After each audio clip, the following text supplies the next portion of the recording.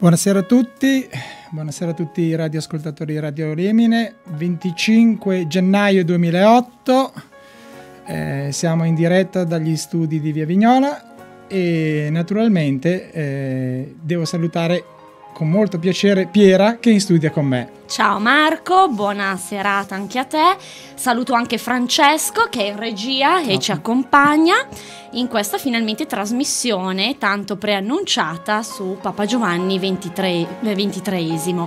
Ricordo ai nostri radioascoltatori che possono intervenire eh, al numero, componendo il numero 320 8348 421.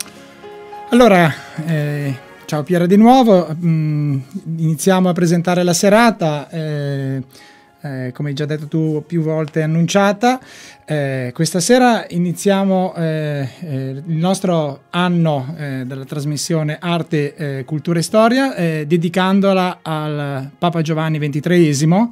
Eh, pontefice eh, eletto nel 1958, quindi 50 anni fa, esattamente il 25 ottobre del 1958.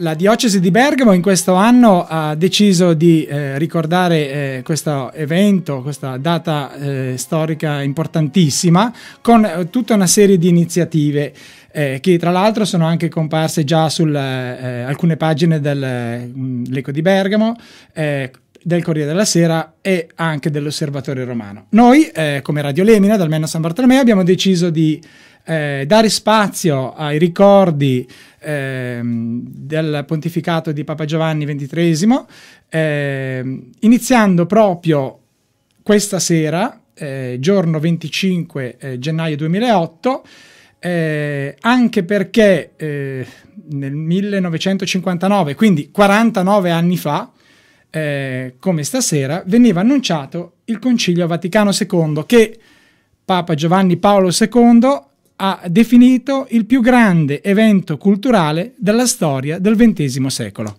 Abbiamo voluto ripercorrere la storia di questo grande pontefice, sia con riferimento alle tappe che alle opere da lui compiute e per fare questo non potevamo non interpellare Monsignor Loris Francesco Capovilla, che fu segretario particolare, il quale vive attualmente a sotto il monte Giovanni XXIII, nella dimora di Camaizzino peraltro dimora che ospita i ricordi del pontificato di Papa Giovanni.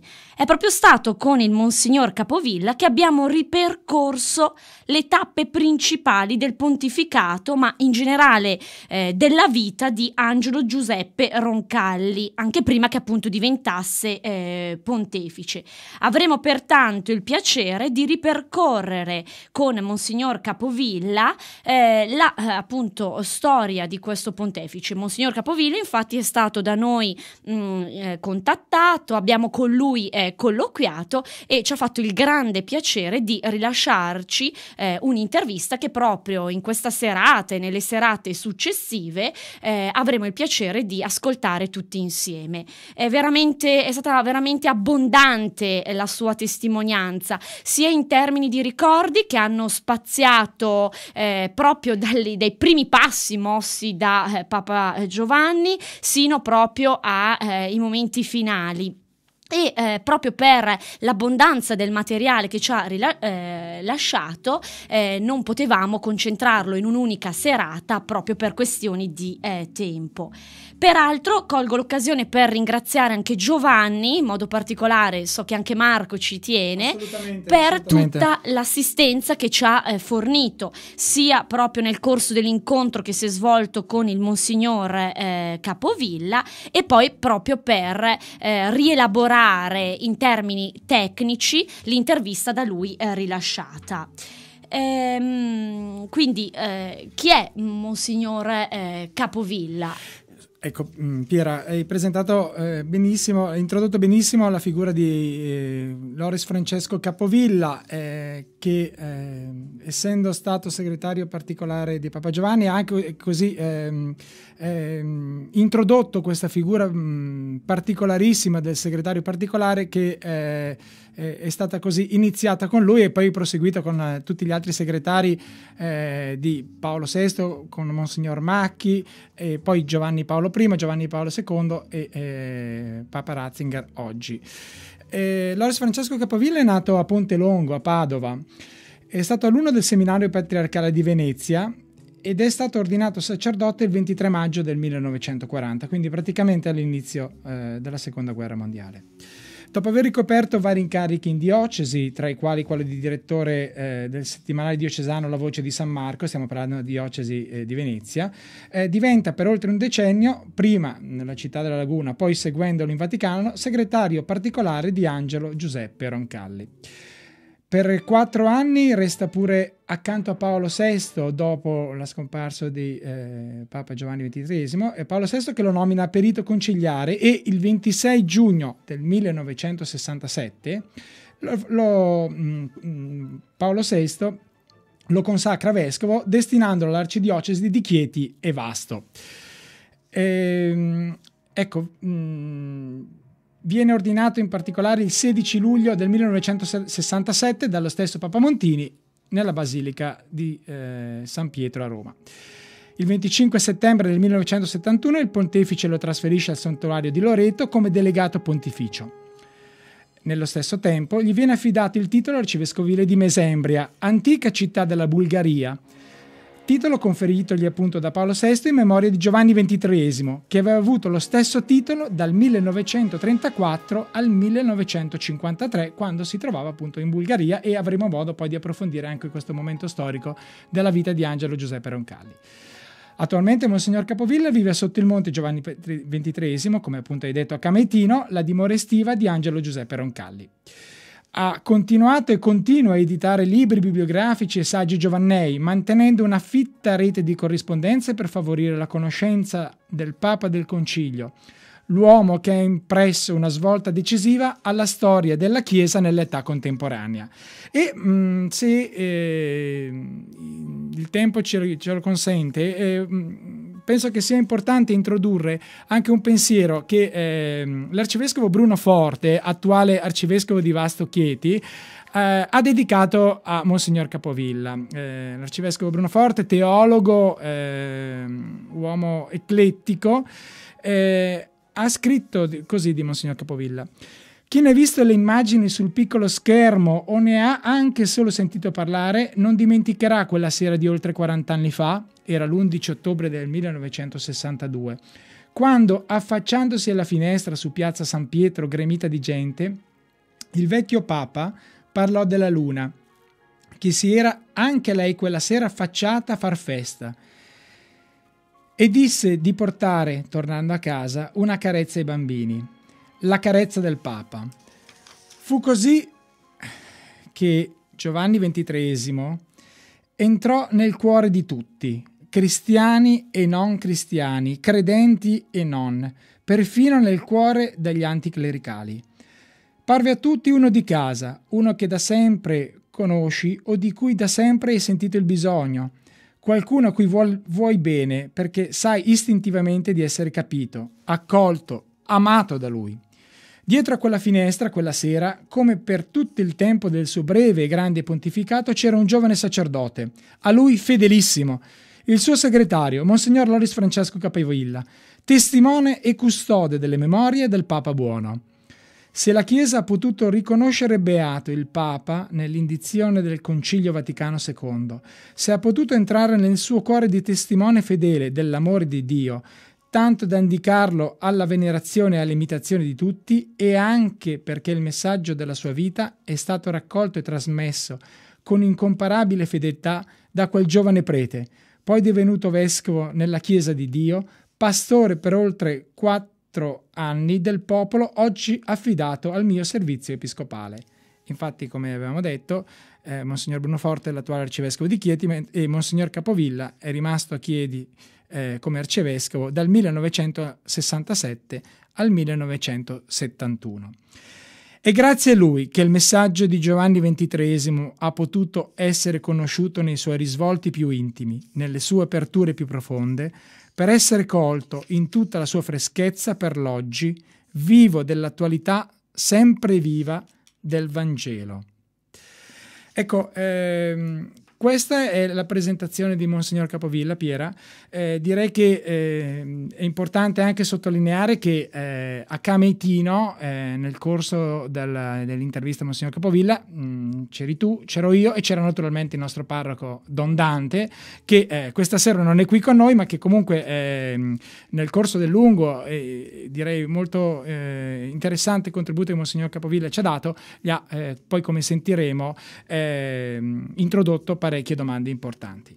Ecco, direi che eh, magari è il caso che mm, facciamo una brevissima pausa eh, musicale pro- proprio per poi introdurci eh, nella memoria eh, eh, de- e nel ricordo della vita di eh, Papa Giovanni XXIII, Angelo Giuseppe Roncalli. Cominciamo quindi a ripercorrere la vita di Papa Giovanni XXIII. Nacque il 25 novembre del 1881, eh, i suoi genitori erano Giovanni Battista Roncalli e la mamma era Marianna Mazzola, è nato proprio, come sappiamo tutti, a Sotto il Monte, nella località Brusicco, in una cascina denominata Palazzo. Fu battezzato lo stesso giorno dal parroco, don Francesco Rebuzzini, nella chiesa succursale di Maria Assunta. Suo padrino fu proprio Zaverio Roncalli, che era capo famiglia e fratello di suo nonno Angelo. All'epoca, peraltro, sommo pontefice era Leone XIII. Dal 1892 al 1893 fu alunno del seminario minore di Bergamo mentre negli anni successivi, dal 1893 al 1900, fu alunno del seminario maggiore, arrivando fino al secondo anno di teologia. È proprio il 24 giugno 1895 che inizia a scrivere il suo diario, il giornale dell'anima, ed è proprio in pari data che riceve l'abito talare. A proposito del giornale dell'anima, abbiamo rivolto a Monsignor Capovilla un'apposita domanda domanda Marco che peraltro gli hai formulato tu. Esatto. Sentiamo quindi la domanda che è stata, è risp- eh, stata rivolta a Monsignor Capovilla e la risposta formulata dallo stesso. Ci ha accennato al giornale dell'anima. Ecco, ci parla di questa pubblicazione e della sua importanza per scoprire il sacerdote e l'uomo Roncalli. Lì salta fuori la domanda che prima ha fatto il preposto del Papa Buono, se è vero. Beh, io, io, dico, beh, per, per, segnare chi era Papa Giovanni, dice, è fatto Papa. Nello studio del Papa con Pio XII avevano messo questo, questo apparato perché se Papa è stato anche ammalato per quattro anni, Pio XII, per evitargli di andare giù alle udienze, qualche volta si affacciava al balcone, non parlava, eh, dava solo la benedizione cantando la Benedicat vos omnipotens Deus. Appena fatto Papa, dicono a Papa Giovanni, sa, dice, le agenzie avvertono, sono via, mm, gruppi, eccetera, e se, se Vostra Santità consente, avvisiamo, ha detto, no, no, no, io apparire alla finestra per farmi applaudire, anche se dare la benedizione, no, no, no, no, no non, non, mi pare bene, no, no, no, no. Quando ci sono le udienze ricevo tanto volentieri, eccetera. Però si potrebbe, per esempio, non sarebbe mica male, una volta alla settimana, alla domenica, il Papa prega con il suo popolo. Prega. È nato così l'Angelus? Certo. Non lo sapevo, bellissimo. Sì, è nato con Papa Giovanni. Dopo se poi vogliono battere anche le mani facciano pure. E il Papa non fa un discorso, adesso hanno preso l'abitudine del discorso, ma dice alcune parole, prendendo lo spunto del giorno, un augurio. Beh, qualche volta ha fatto anche qualche discorsetto, ma in genere un salutino, due parole amabili e basta così. Un vescovo francese va in udienza un giorno, di lunedì, e gli dice Santo Padre, ieri ero anch'io con la folla in piazza quanto è bello questo gesto che voi avete fatto dell'Angelus Domini in preghiera, così. Lui il Papa fa, ma, cosa, io l'ho imparato dalla mia mamma, sa, dice, io l'Angelo non ho imparato in parrocchia o in seminario, era mia mamma, la mattina suonava le campane del convento di Baccanello alle 5, la mia mamma era lei che dava l'intonazione, diceva, lo ripeteva anche in bergamasco, diceva su dunque alzatevi uomini, Angelus Domini non di Maria. E tutti si alzavano con, con la preghiera. Era, il vescovo, siccome voleva eh, dare una lezione al Papa, ha detto però c'è santità, l'Angelus finirebbe con l'Oremus. Il resto è in soprappiù, basterebbe. Papa dice dolcemente, e lo so che a voi francesi se non vi piacciono i tre gloria patri, perché quelli sono stati aggiunti da Pio VII in protesta a Napoleone per gli articoli organici sul concordato Bellissimo, è stupendo. Eh, allora Vescovo dice sì, sì, ma non volendo perdere tutta la partita, eh, il signor Vescovo aggiunge ancora, però Santo Padre, anche angelo di Dio non è una verità di fede, infatti non è di sì, fede. Eh. eh, ha detto lui, beh, sa, di fede o non di fede è una bella devozione angelis suis Deus mandavit de te. Dio ha mandato i suoi angeli, che li abbia mandato a, a tutti insieme, all'uno particolarmente, questo non stiamo a specificarlo, così. E va bene, basta. Finisce, la, la, eh, finisce questo incontro con, con il signor Vescovo, a mezzogiorno mi dice ho avuto due lezioni di teologia oggi, dice, uno si gloria patri, dice, per gli articoli organici e un altro sul, su, sull'angelo di Dio. Cioè, vuoi vedere che per fare un piacere a lui io farò un dispetto al mio angelo custode. Scherzando, è bello, è bello. Della semplicità e limpidezza dell'anima. Lei sa, lei sa perché per essere un prevosto, sa che lei non può mettere una statua della Madonna del suo cuore sopra il tabernacolo.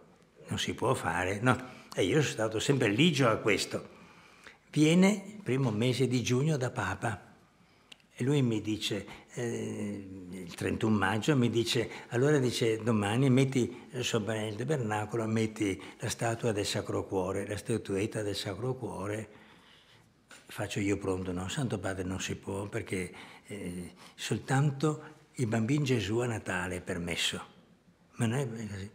Lui non dice niente, lascia stare, non dice, in fin dei conti sono io che comando. Vabbè, va in cucina dopo che io sono andato sopra e dice alle suore, per piacere dice, venite che prendiamo il Sacro Cuore, lo mettiamo sopra l'altare, poi lui dice farà le sue osservazioni se vuole. La, la, la, la semplicità assoluta. Ma allora c'era proprio un clima totalmente familiare anche con la, le suore della cucina, del servizio, de, di una semplicità guardate, proprio... Vedete, ma questo l'aveva imparato anche dal suo vescovo, che era un uomo austero, ma che tutte le sere diceva grazie, allora c'aveva il portiere, eh, c'aveva lo stalliere perché avevano il cavallo, così si ringraziava il domestico sempre con grande rispetto. C'è il libretto di pagamenti di Monsignor Radini, è, è, la, è una lezione anche oggi di amministrazione parrocchiale o diocesana, sa da fare il rispetto assoluto della giustizia, dell'attenzione, il rispetto. Naturalmente la casa vescovile, si va la sera, tutti devono avere eh, il vescovo, il segretario, Don Alessandro Locatelli che era l'amministratore della mensa, va bene, il, il cocchiere, il cuoco, perché avevano 3-4 persone, allora si usava così, tutti al Santo Rosario. Questo essere eh, una, una, vita familiare, beh, lui l'aveva imparato, andava tutte le sere in cucina a dire grazie alle suore.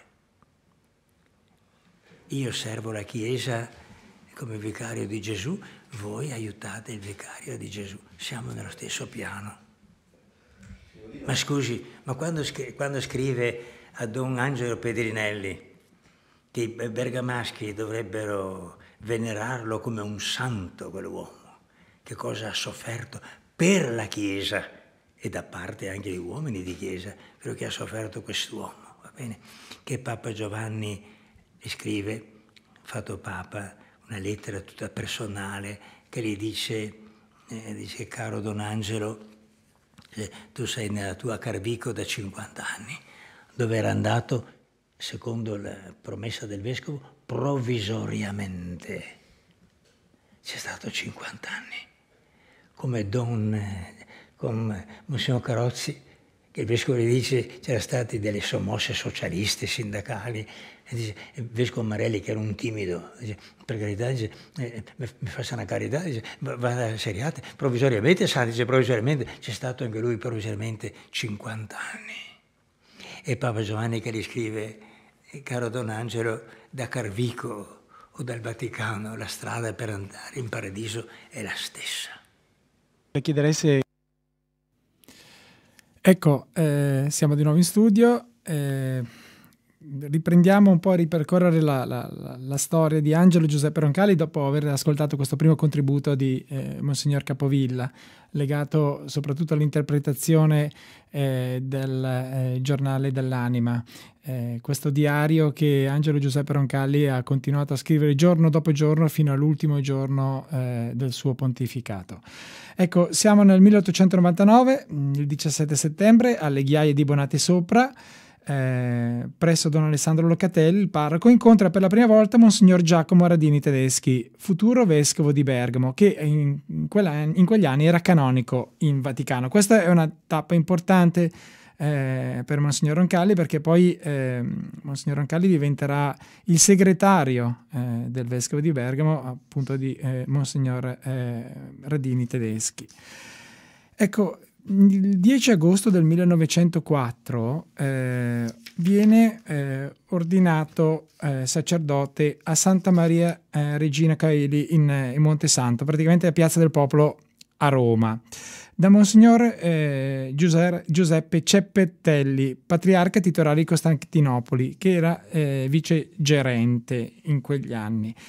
Eh, successivamente, eh, nel 1905, il 29 gennaio, nella Cappella Sistina, Pio X ordina vescovo Monsignor Radini Tedeschi e appunto, come avevamo già anticipato prima, Don Angelo viene nominato suo segretario.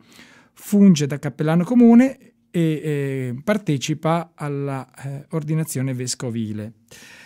E, ehm, Un'altra eh, piccola eh, così, curiosità è legata per esempio al, al, febbraio del 1906, il 23 febbraio, ecco, ehm, a Milano negli archivi della Curia Arcivescovile eh, improvvisa conoscenza del carteggio della visita apostolica di San Carlo Borromeo a Bergamo nel 1575 e primo incontro con Monsignor Achille Ratti, allora prefetto della Biblioteca Ambrosiana. Eh, a novembre, poi, sempre nel 1906, inizia l'insegnamento di storia ecclesiastica in seminario. Più avanti eh, diventerà poi docente e assumerà eh, varie cattedre, eh, tra cui quella di patrologia. E altri mh, passaggi significativi che possiamo ricordare in quegli anni, eh, il 28 marzo del 1916 è nominato cappellano militare dell'ospedale succursale di riserva eh, di Bergamo, il ricovero nuovo, e di altri variamente distribuiti. Coordina l'opera di assistenza religiosa ai militari. Ecco, eh, a tale proposito dobbiamo anche eh, simpaticamente ricordare che ehm, Angelo Giuseppe Roncalli è stato, è stato, militare, è stato un militare perché eh, ha iniziato il servizio militare di leva nel 73 batteria Brigata Lombardia alla caserma Umberto I a Bergamo. Ecco, ehm, quindi abbiamo, mm, abbiamo, queste esperienze eh, che Angelo Giuseppe Roncalli conduce, eh, esperienze di vita, eh, esperienze che eh, come potrete sicuramente immaginare, eh, lo hanno segnato decisamente, eh, come hanno decisa- decisamente segnato eh, le anime eh, di, di, tantissimi uomini e di tantissime donne che, eh, soprattutto in quegli anni di guerra, hanno avuto vicissitudini varie. Ecco, mh, successivamente, altra mh, tappa importante, eh, decisamente importante da ricordare, eh, il 18 gennaio del 1921 a Roma, a Propaganda Fide, inizia il suo servizio di presidente del Consiglio centrale per l'Italia della Pontificia Opera della Propagazione della Fede. E eh, dal primo aprile inizia le peregrinazioni, eh, i viaggi attraverso le diocesi d'Italia per diffondere l'ideale missionario e organizzare l'opera della propagazione della fede. Ecco, queste sono date eh, importanti perché eh, contribuiscono a, a, dare all'uomo Roncalli eh, la dimensione eh, e la conoscenza ehm, di culture, storie e tradizioni eh, della nostra Italia. Eh, questo viaggiare eh, lo fa, lo, fa, avvicinare a popoli, popolazioni e a culture eh, variegate e questo sicuramente dà un ulteriore eh, orizzonte al, al, al, ai suoi interessi e alle sue conoscenze. Ecco, mh, viaggia in Francia, in Belgio, in Olanda, in Germania, quindi non si dedica soltanto all'Italia, ma eh, ha questa ulteriore mh, possibilità di, di, incontrare e conoscere persone di eh, nazioni diverse. Ecco, arriviamo alla data importantissima del 3 marzo del 1925, eh, data che eh, va ricordata perché Angelo Giuseppe Roncalli viene nominato visitatore apostolico in Bulgaria ed elevato all'episcopato con il titolo di Aeropoli. Viene, eh, diviene vescovo e viene mandato a Sofia in Bulgaria come visitatore apostolico. Ecco, noi abbiamo chiesto a Monsignor Capovilla se ci poteva parlare eh, di questi anni e degli anni successivi che hanno visto Angelo Giuseppe Roncalli eh, impegnato eh, in diverse sedi mh, mm, o nunziature apostoliche in Europa. Eh, sentiamo il contributo. Le chiederei se ci concede un piccolo eh, excursus storico, soprattutto per gli anni che il cardinale Roncalli ha trascorso prima a Sofia in Bulgaria, a Istanbul in Turchia, a Parigi, prima di diventare patriarca di Venezia e poi essere eletto eh, al Soglia Pontificio. Ecco, nel giornale dell'anima il cardinale parla di questi popoli, il popolo bulgaro, il popolo turco, con tanta ammirazione e con sentimenti di amicizia Ecco, lei cosa ci può dire? Io direi questo eh, come punto di partenza, che vale per tutti, vale per me per primo che parlano. Noi parliamo, in questo momento siamo adesso nel 2008, abbiamo delle guerre in corso, va bene, abbiamo delle difficoltà grandi anche sulla strada del capirci con quelli che sono pure battezzati come noi, diciamo protestanti e ortodossi. Non è così facile, va bene? Poi abbiamo problemi all'interno della Chiesa, li abbiamo. Abbiamo dei santi e abbiamo anche chi è venuto un po' meno, questo non possiamo nasconderlo, dobbiamo dirlo con chiarezza. Abbiamo difficoltà, ma guardate che non sono di oggi. Il torto nostro è di non essere storici. Diceva Papa Giovanni, uno che ha studiato la storia non si meraviglia per niente. Beh, devo dire tra parentesi, visto che parliamo a Bergamo, per Monsignor Amadei è una fortuna essere laureato in storia, perché realmente ha un altro modo di giudicare anche le cose presenti. Ora, dico, noi, io sono uscito dal seminario, va bene, che cosa sapevo, supponiamo, della questione ebraica? Niente, niente sapevo, perché gli ebrei non avevano accettato Gesù, sì beh, troppo poco però, c'è una storia di duemila anni. Parliamo del mondo ortodosso, che ha ricchezze insondabili di fede, di pietà e anche di eroismo ha avuto nel corso dei secoli i loro padri, ma noi sappiamo quasi niente, sappiamo questi barboni che non riconoscono l'autorità del Papa, ma è troppo poco.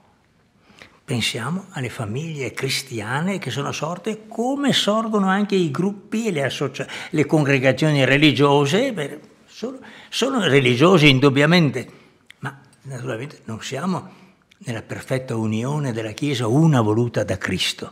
Ma, ma che cosa so io di proprio vera storia? So, in Italia, il fenomeno dei valdesi. Ho conosciuto un vescovo, professore di teologia nel suo seminario, un uomo saggissimo, lo fanno, è professore del seminario di Ivrea, Pietro Giachetti, lo fanno vescovo di Pinerolo, dove c'è la grande comunità valdese in Italia. Lui dice a se stesso subito, ma io non so quasi niente dei valdesi. Mi sono messo a studiare, ho studiato, ho approfondito, ho conosciuto. E va con l'idea proprio di, prima cosa, facciamo amicizia. Naturalmente l'altra parte è sospettosa. Lui dice ai parroci della Valpellice, dice, quando io vengo in visita pastorale, dice, a mezzogiorno invitate il pastore protestante, il pastore valdese, no? e diteli, perché lui non si senta diminuito, che se lui vuole, alla sera andiamo a cena da lui. Un contatto, no? I primi mesi eh, alcuni non si fidavano non andavano. Poi piano piano, con umiltà, con saggezza, oggi c'è un clima straordinariamente sereno. Non siamo all'unione, è un clima sereno. Ci conosciamo, ci salutiamo, ci vogliamo bene. I cristiani di oggi, come quelli de, de, de, delle, delle, comunità di cui parla San Paolo, eh, hanno bisogno di imparare a essere accostevoli e tolleranti, non tolleranti del peccato, dell'errore, ma di questa persona che è costruita così, che è arrivata a questo punto. Se io rompo e se io ignoro, non faremo mai nessun passo innanzi. Allora, allora mi domando, che grande fortuna per Papa Giovanni aver percorso per dieci anni tutti i sentieri della sua diocesi con amore insieme col suo vescovo in visite pastorali dal punto di vista materiale, chiamiamolo così, storico, conosceva tutto, le sagrestie, le santelle che erano per le strade, tutto, la, conosceva le case, il, il, prete, no, ma, beh, ma anche suo papà, suo fratello, sua sorella, cioè, bisogna che ci incarniamo completamente, allora poi dopo posso avere un giudizio globale, complessivo e paziente dei miei fratelli. Dopo lo chiama Benedetto XV, l'aveva conosciuto a Lourdes in un pellegrinaggio con Monsignor Radini tedeschi, fortuna anche questa, come prima appena giovane pretino che va all'Ambrosiana di Milano e c'è il prefetto dell'Ambrosiana, un uomo austero, di pochissime parole, Mo, Monsignor Achille Ratti, vede questo giovane prete bergamasco che va, che è curioso, e gli domanda come mai. E gli dice, eh, caro Don Angelo, dice, preti qua ne vedo raramente, sa, dice, Vedo dei vecchi liberaloni e giornalisti che vengono qua ad attingere, se possibile, delle frecce per scagliarcene contro. Pensate al romanzo sulla, sulla monaca di Monza, per dire, no? Ecco, quest'uomo ha avuto la curiosità di conoscere e di approfondire. Di approfondire. Poi gli, danno questo incarico di rianimare in Italia, che c'è, c'è nel profondo, bisogna disciplinarlo, lo spirito missionario. E dal 21 al 25 si fa missionario in Italia, ma non sceglie di venire nelle belle, ricche eh, diocesi numerose e vaste del nord, sceglie la Sicilia, la Calabria, le Puglie, va bene, la Basilicata, la Sardegna, va a visitare queste e non torna a casa come facciamo la maggior parte di noi, che al mio paese non si fa così, che manca qua, che manca là. Pieno di entusiasmo, è buona gente, è brava, ha bisogno di essere aiutata. Fa amicizia, fa, la accetta questa gente. No? Poi la storia di Papa Giovanni è quasi una storia di sostituzioni di persone. Perché quando gli proposero di andare in Bulgaria. Certamente non sapeva il bulgaro, poco sapeva di cos'era la Bulgaria, studi speciali sul, sull'ortodossia non li aveva fatti. Lo spirito cosiddetto ecumenico era un lumicino che ardeva qua e là, c'era l'Abbé Boudouin, pochissime persone nel mondo che se ne interessavano, era l'aspirazione della Chiesa, ma ancora rimaneva lo stato di aspirazione. E, e dice il cardinale Gasparri che gli dice, già dice avremmo pensato dice, di mandarvi in un paese lì, in quella Bulgaria ci sono delle storie tra frati, preti, monache, eh, delle divisioni tra di loro, eccetera, abbiamo pensato... Lui gli dice delicatamente, dice, ma sua eminenza, dice, mi perdoni, dice, ma chi ha pensato? Dice il Santo Padre? Ah beh, sei il Santo Padre, non è un discorso. Il Papa vuole, dice, ma guardi, io non sono esperienza, non conosco niente, e parte, e parte così, veramente come Abramo. non sa la lingua, non, non ha nessuno, non ha neanche un segretario, non ha nulla, nulla, e va, e va. Ma non ci sta dieci giorni come i signori turisti. Io lo dico come una preghiera, vorrei pregare i miei amici italiani, specialmente i sacerdoti. Se adesso con le facilitazioni andate a visitare questo o quel santuario, andate eh, alcuni giorni in Russia o in Cina o in Grecia o in Turchia, per favore, quando tornate a casa non sdottorate troppo perché non conosci neanche il paese vicino tuo, neanche l'Italia. Com'è che conosci così perfettamente? Parli dell'evento del centro del, del Medio Oriente, dell'Afghanistan, dell'Iraq, chiacchieri sui ritalli dei rotocalchi, non va mica bene questo, si deve studiare. Proprio stamattina io ho scritto una lettera al cardinale di Venezia che adesso gli danno l'ausiliare, no? E l'ho detto anche per lui, l'ho detto con, con bellamente.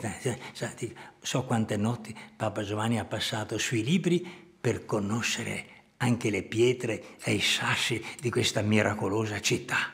È finito per conoscerla e amarla più dei preti veneziani. Stessa cosa si dica della Turchia. Perché in Turchia, che hanno pubblicato i quaderni di Papa Giovanni, c'è in copertina, con scrittura sua ingrandita, io amo i turchi, perché ha, ha, apprezzato lo sforzo di Ataturk, che comincia nel 23, la occidentalizzazione della Turchia. E oggi abbiamo delle persone che parlano senza conoscere questo.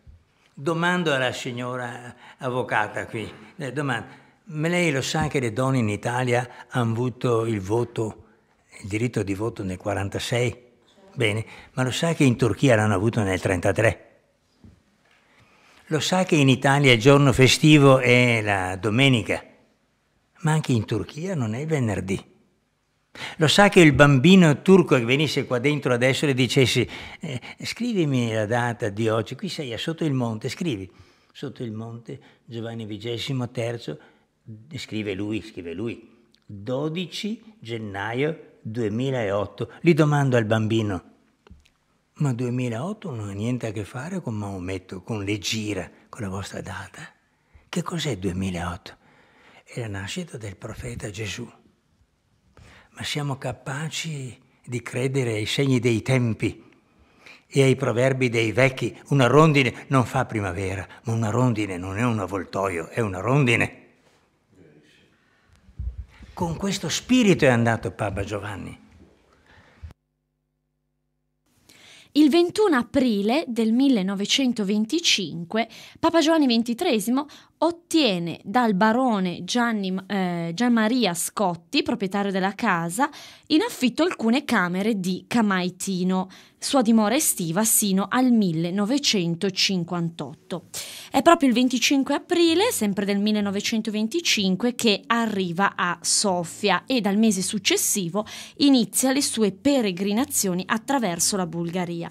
Proprio come anticipato prima, eh, successivamente ai viaggi svolti in Italia, il suo interesse eh, si volge eh, all'estero e quindi applica lo stesso criterio e quindi per conoscere le popolazioni e le culture, come anticipato appunto da Marco prima, eh, si mette proprio in viaggio e percorre in lungo e in largo, potremmo dire, queste nazioni. Peraltro, nel 1943, il 22 marzo, va all'ambasciata USA per sollecitare notizie sui prigionieri di guerra.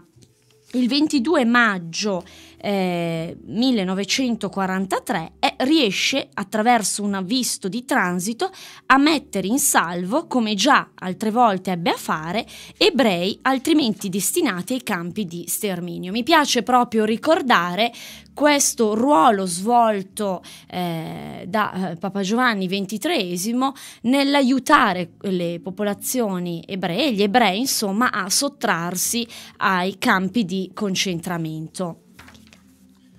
Ecco, allora eh, Piera, eh, è importante eh, questa tua ehm, ulteriore contributo e osservazione perché ehm, abbiamo detto che eh, Angelo eh, Giuseppe Roncalli è stato mh, per anni eh, in Bulgaria e eh, in Bulgaria è rimasto eh, fino al 1934 eh, perché eh, poi dal 1935, esattamente il 4 gennaio 1935, parte eh, da Sofia e arriva la delegazione apostolica di Istanbul.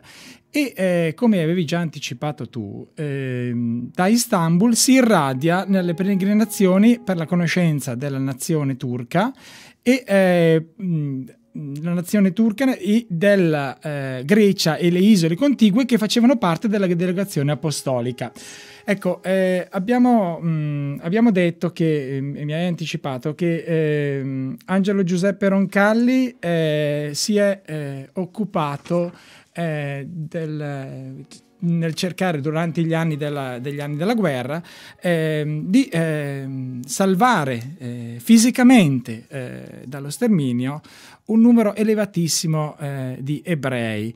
E eh, allora mi piace ricordare soprattutto due mh, informazioni da dare ai nostri radioascoltatori. La prima è quella relativa agli anni della sua presenza in Turchia ehm, alla fine eh, della guerra, nel 1945, eh, Angelo Giuseppe Roncalli era già a Parigi, nunzio, e ehm, l'allora governatore militare eh, della nazione turca, era il più alto ufficiale dell'esercito tedesco, eh, presente naturalmente a Istanbul fino al 1945, ehm, aveva eh, negli anni eh, della presenza di Angelo Giuseppe Roncalli eh, in Turchia in qualche modo favorito il cardinale nella, eh, così, nel dirottare i treni che arrivavano dall'Europa e eh, attraverso la Turchia cercavano di eh, raggiungere ehm,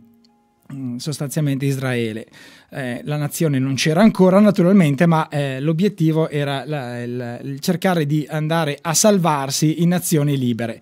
E eh, questo alto ufficiale favoriva, cercava di favorire in qualche modo eh, e di aiutare anche il cardinale Roncalli, eh, cercando di ehm, deviare eh, oppure di eh, trovare dentro le maglie della sorveglianza ehm, dell'esercito tedesco ehm, dei modi per riuscire a far passare sempre numeri considerevoli di, eh, di famiglie, di individui ebrei che erano in fuga praticamente in campi di sterminio. Eh, Angelo Giuseppe Roncalli ha testimoniato al processo di Norimberga per questo alto ufficiale, la sua testimonianza è stata fondamentale, praticamente gli ha salvato la vita, come ne ha salvata a tantissime altre migliaia, migliaia e migliaia di ebrei eh, mentre appunto era eh, in Turchia. Un'altra piccola eh, eh, informazione, poi naturalmente ti lascio proseguire nella, nella, nella, nel, nello sviluppo della, della, vita di Angelo Giuseppe Roncalli. Ehm, a New York c'è la Wallenberg Foundation, è una fondazione eh, internazionale finanziata da eh, praticamente quasi tutte le nazioni europee, ha il, il, il, mm, così, l'alto patrocinio delle Nazioni Unite. Eh, lì eh, si studia anche l'uomo Roncalli, eh, c'è una sezione particolare che viene dedicata a lui esclusivamente con convegni, dibattiti, eh, incontri, eh, proprio dedicati a questa sua eh, attività ehm, nel cercare, e spessissimo per fortuna ci riusciva, di salvare letteralmente la vita a ebrei in fuga dalle, da, dal, dall'orribile guerra che dal 40-45 ha devastato la nostra Europa. Ecco, se poi prosegui tu adesso... Sicuramente. È il 22 di dicembre del 1944 che viene nominato nunzio apostolico a Parigi e proprio il primo gennaio dell'anno successivo, del 1945, presenta le sue credenziali a nome del corpo diplomatico porge gli auguri di Capodanno al generale che era Charles de Gaulle, che era presidente del governo provvisorio della Repubblica eh, francese. Il 18 settembre del 1945 visita i prigionieri di guerra tedeschi a Chartres, con particolare riguardo ai numerosi seminaristi assecondando lo zelo del sacerdote Franz Stock con l'aiuto della Santa Sede e la collaborazione di ecclesiastici insegnanti che erano venuti dalla Germania, avvia nel campo di concentramento corsi regolari di studio teologico e di formazione ecclesiastica. E mh, venendo all'aspetto che forse ci ha mh, più eh, colpito esatto. e che esatto. personalmente alle domande eh, rivolte a Monsignor Capovilla è stata quella che eh, mi ha eh, incuriosito maggiormente è proprio il 10 settembre del 1950 che all'isola di San Lazzaro di Venezia incontra per la prima volta il suo futuro segretario Don Loris Capovilla. E cosa non potevamo chiedere se non a Monsignor Capovilla eh, il ricordo dell'incontro che ha avuto personale con Papa Giovanni XXIII ed è stato diciamo molto eh, generoso nei particolari e nel raccontarci qualche anche eh, episodio inedito non conosciuto. Direi quindi che possiamo sentire questo contributo. Se ci poteva ricordare, raccontare il suo primo incontro con Papa Giovanni, come è avvenuto, che impressioni le ha suscitato. No, non ve lo posso raccontare perché non mi credete. Non mi credete, perché io Papa Giovanni l'ho incontrato prima di incontrarlo. Io avevo 20 anni e siccome ho sempre amato, grazie a Dio, la nostra stampa cattolica, mi ricordo che non ho mai comperato pubblicamente il gazzettino, ho sempre comperato l'Avvenire d'Italia, fin da ragazzo. No? Ecco. E allora tutto che era la produzione cattolica, il Pro Famiglia di Milano pubblicava ogni anno l'annuario dei cattolici italiani, dove c'erano tutti gli uffici della Santa Sede, i rappresentanti pontifici, gli ambasciatori presso la Santa Sede, le varie associazioni, le congregazioni religiose, un po' di storia. Eh. Nel 1935, va bene, l'annuario del 35 portava le notizie naturalmente fino al 34. Alla fine del 34 lui è stato mandato da Sofia a Istanbul dalla Bulgaria alla Turchia. E sfogliando il annuario c'era un, un, ritrattino di questo Monsignor Angelo del così una robettina piccola così, no? Così, un tondo, c'era scritto Monsignor Angelo del una, una bella faccia delicata, eh, sorridente, così, mandato. E mi è rimasto impresso sto. Mi ha incuriosito. E quando nello sfoto romano o altro trovavo qualche notizia che riguardava la Bulgaria, ero tutto contento, mi piaceva sentire così. Ma non sapevo nulla di questo prelato, anche che era di Bergamo, per dire no. 15 anni dopo, nel 50, era il centenario, il secondo centenario della morte di Mekhitar, che è il fondatore dei Mekhitaristi dell'isola di San Lazzaro, degli Armeni a Venezia. E siccome i mechitaristi sono nati a Istanbul, ma hanno loro, il loro punto diciamo, di riferimento Venezia con extraterritorialità, cosa che non sa quasi nessuno in Italia, perché c'è un'ignoranza enorme delle nostre cose. La Repubblica Veneta ha inventato le autonomie prima di quello che se ne parla ai nostri giorni. Che voi sapete che voi siete in questo territorio che si chiamava la magnifica comunità dell'isola come esisteva la magnifica comunità friulana, la magnifica comunità dei sette comuni di Asiago. Ecco, l'isola di San Lazzaro aveva l'extraterritorialità, come, mm, come dire, una, una, una, specie di sovranità limitata, ben si intende, sotto la Repubblica Veneta. Questa sovranità, riconosciuta poi dallo Stato italiano, mm, la Repubblica Veneta è passata allo Stato, all'Austria, prima all'Austria, poi allo Stato italiano, di continuare. Ed è ancora, tuttora grazie a Dio, una fiorente isola armena nella nostra bella laguna veneta. Ora, siccome che è nato qui, hanno due collegi per gli armeni che sono in Europa. Uno a Vienna, molto fiorente, e uno a Parigi. Era, lui era nunzio a Parigi e l'hanno invitato a venire a Venezia. E io sentito viene cioè, il nunzio apostolico in Francia, cioè, io ero giornalista allora mi sono fatto coraggio ho detto, lui era solo, venuto solo, e ho detto a un padre dei miei chitarristi, senta un po', devo dire se potesse, soltanto vorrei dire una parola, scambiare una parola. Sì, sì, ce lo dico. Cioè, viene fuori lui dalla porta, venga, venga, venga. Sento ancora questa parola, così. Cioè, si mette a parlare con me come se fossi un adulto, era un predino, come se avessi chissà che cosa, con tutta schiettezza del suo compito a Parigi, delle sue esperienze, delle varie cose, così, perché era venuto con tanta simpatia a Venezia quando ero stata la prima volta nel 1909, così.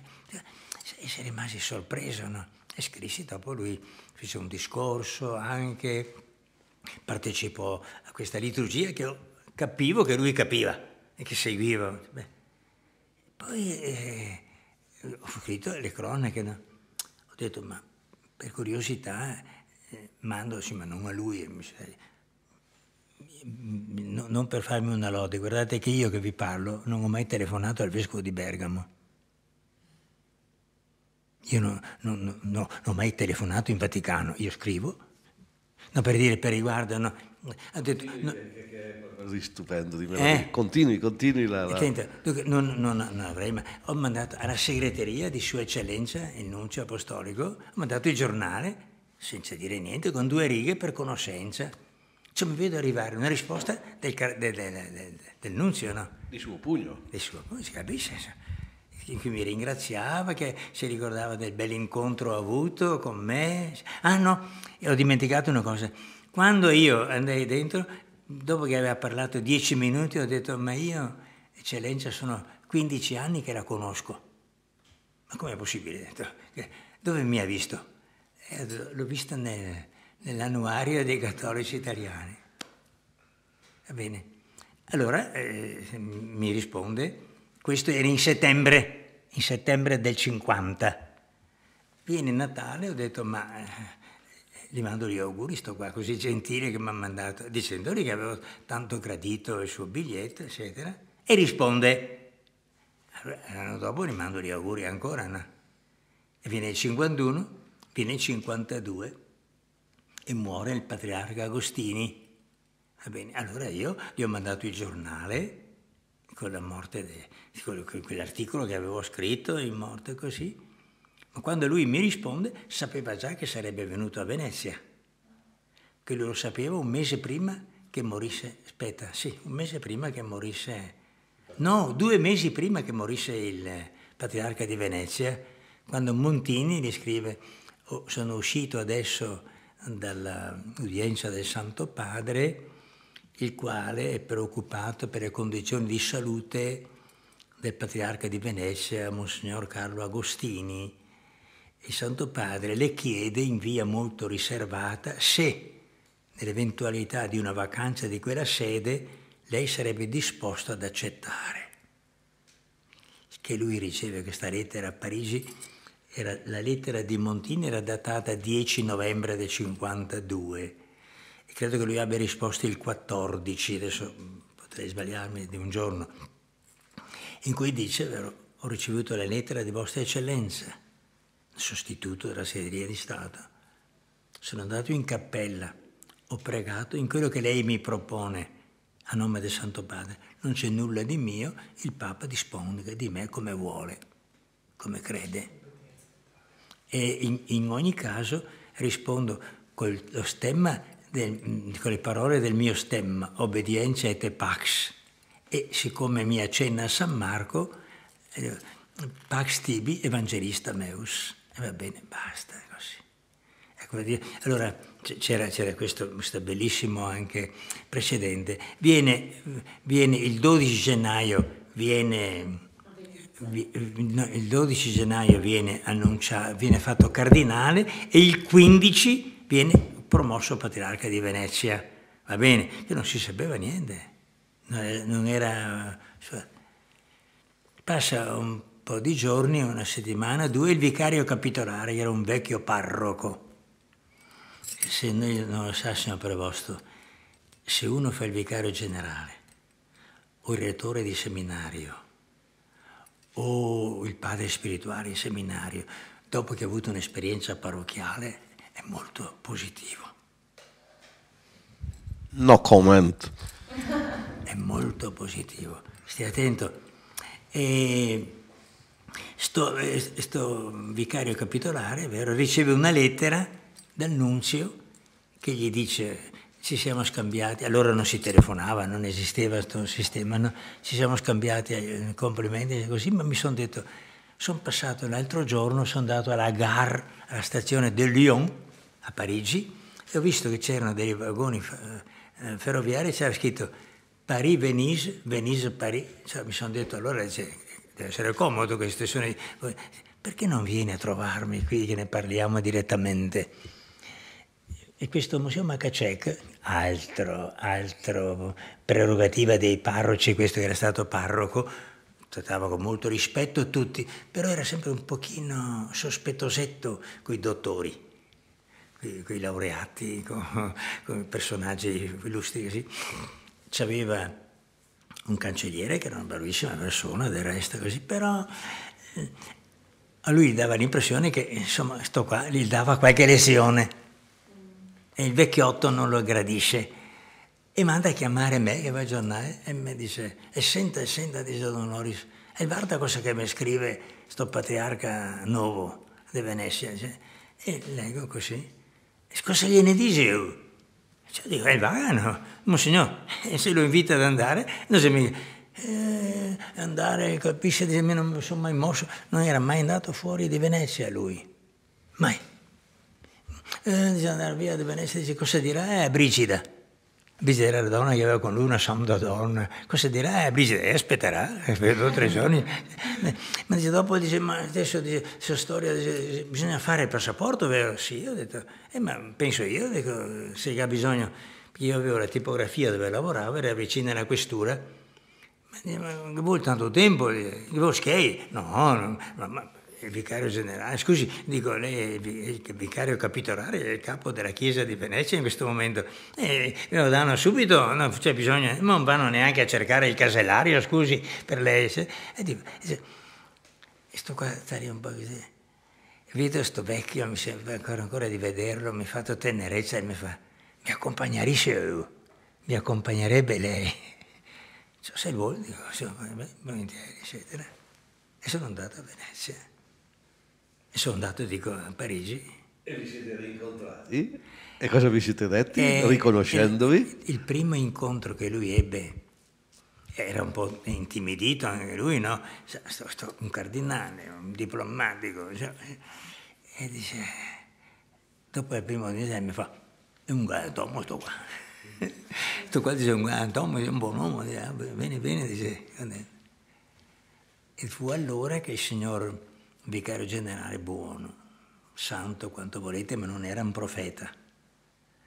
E, che, e che il patriarca gli dice, senta, dice, quel pretino lì che io già conosco, me lo prenderei nella famiglia patriarcale. Cosa ne pensa lei? Sì, sì, eminenza, è un buon prete, bravo, ma non che aiuta, già vita breve sa. È caso di dire per fortuna. A vita breve E io ho assistito. È stato un buon auspicio. Io dico. ho assistito alla sua morte di questo santo vecchio, veramente. Sa? Eccoci allora di nuovo eh, in diretta. Siamo ormai alla conclusione della prima eh, puntata che abbiamo deciso di dedicare a Angelo Giuseppe Roncalli, futuro Papa Giovanni XXIII. Eh, abbiamo percorso in questa ora di trasmissione eh, gli anni dal 1881, anni, l'anno della nascita di Angelo Giuseppe Roncalli, fino al 1950. E mm, nel 1950, eh, come avete ascoltato prima, eh, Monsignor Capovilla eh, incontra per la prima volta ehm, Angelo Giuseppe Roncalli e mm, poi eh, dobbiamo poi ricordare che eh, nel 1953 eh, Angelo Giuseppe Roncalli eh, diventa patriarca a Venezia. Ecco, eh, io eh, adesso cederei poi la parola a Piera per um, così, l'ultimo suo contributo e um, intanto vi saluto, vi ringrazio per l'ascolto e eh, vi eh, naturalmente eh, rimando all'appuntamento che poi Piera eh, vi presenterà e vi auguro una buona serata. Sì Marco, ci troveremo per la seconda puntata il 27 febbraio 2008, ovviamente alle ore 8.30. La seconda puntata sarà dedicata interamente agli anni del pontificato, quindi dopo questa prima fase eh, iniziale in cui appunto abbiamo visto, come dicevi, eh, la vita eh, del sacerdote eh, Giovanni, quello di che sarà poi Papa Giovanni XXIII, invece la seconda puntata la dedicheremo appunto interamente agli anni del pontificato. Anch'io vi ringrazio eh, per l'ascolto, ringrazio Francesco sì, per grazie l'assistenza Francesco, che ci ha prestato e buona serata. Grazie ancora Piero, buona serata. Buonasera a tutti, buonasera ai radioascoltatori di Radio Lemine, è il 27 febbraio 2008. Ciao Piera! Ciao Marco, buona serata, buona serata anche ai nostri radioascoltatori e un saluto particolare va a Francesco che ci sta seguendo dalla regia. Ricordo ai nostri radioascoltatori che come al solito possono contattarci mediante un sms al numero 320 8348 421. Tema della trasmissione di questa sera è la vita di Papa Giovanni XXIII. È la seconda puntata, ne abbiamo già parlato la scorsa volta e quindi proseguiamo nel ripercorrere le tappe di vita del Papa appunto Giovanni XXIII. È vero Pier, è vero. Infatti eh, abbiamo mh, mm, deciso di ricordare i 50 anni eh, dall'elezione del pontefice bergamasco 1958-2008 abbiamo eh, dedicato la prima puntata eh, del 25 gennaio alla mm, diciamo, eh, storia di Papa Giovanni eh, dalla sua nascita eh, sino al, mm, sostanzialmente all'accettazione dell'incarico di patriarca eh, di Venezia. questa sera invece proseguiremo, proseguiremo nel raccontare la storia che ha portato il il Angelo Giuseppe Roncalli a diventare eh, eh, Papa Giovanni e quindi essere eletto al soglio pontificio. Eh, dobbiamo anche aggiungere eh, che rispetto alla trasmissione del 25 gennaio eh, ci faccia piacere ricordare ai nostri radioascoltatori che eh, sono eh, iniziate anche eh, alcune iniz- eh, proposte da parte della diocesi di Bergamo eh, per ricordare questa importantissima data. In particolare c'è stato l'annuncio giornalisticamente riuscito della presenza a Bergamo del cardinale Tercisio Bertone, il segretario di Stato, che sarà a Bergamo nel mese di aprile. Già nella precedente puntata, come ricordavi poc'anzi, abbiamo eh, percorso le tappe di vita del pontefice grazie all'ausilio del Monsignor Capovilla che abbiamo incontrato nella sua dimora di Camaitino sotto il monte Giovanni XXIII. Con lui e sentendo eh, le sue testimonianze proprio di colui che eh, l'ha seguito in questo suo percorso di, di Papa, abbiamo rivisto appunto eh, ripercorso la vita di Angelo Giuseppe Roncalli dalla sua nascita, che ricordiamo essere stata il 25 novembre 1881, e siamo arrivati a raccontarvi l'incontro, o meglio, il racconto l'ha fatto il diretto interessato Monsignor Capovilla, l'incontro che lui ebbe con il futuro eh, Papa. Vi abbiamo raccontato gli eventi più salienti della vita del sacerdote, da quando venne nominato vescovo al, eh, alla nomina a cardinale e del suo peregrinare prima in Italia e poi come rappresentante eh, diplomatico del Papa, prima a Sofia in Bulgaria, quindi ad Istanbul in Turchia, per giungere poi a Parigi. È vero Piera, eh, Angelo Giuseppe Roncalli ha avuto anche un trascorso diplomatico importantissimo eh, nel, in alcune delle annunziature più importanti eh, dell'Europa. E a questo punto direi che vale la pena eh, ripresentare eh, la figura di Monsignor Loris Capovilla. Eh, Loris Capovilla è nato a Ponte Longo in provincia di Padova, quindi è, è Veneto, è diventato è, è diventato eh, sacerdote incardinato alla diocesi di Venezia, è stato giornalista, pubblicista, è stato eh, insegnante eh, presso alcune eh, scuole superiori di Venezia, ha incontrato Angelo Giuseppe Roccalli, è diventato il suo segretario particolare, prima a Venezia e poi a Roma, segretario particolare di Papa Giovanni. Successivamente è rimasto alcuni anni in segreteria di Stato e Paolo VI poi lo, lo ha eh, inviato a Chieti come arcivescovo nella diocesi di Vasto Chieti per poi trasferirlo successivamente al santuario di Loreto.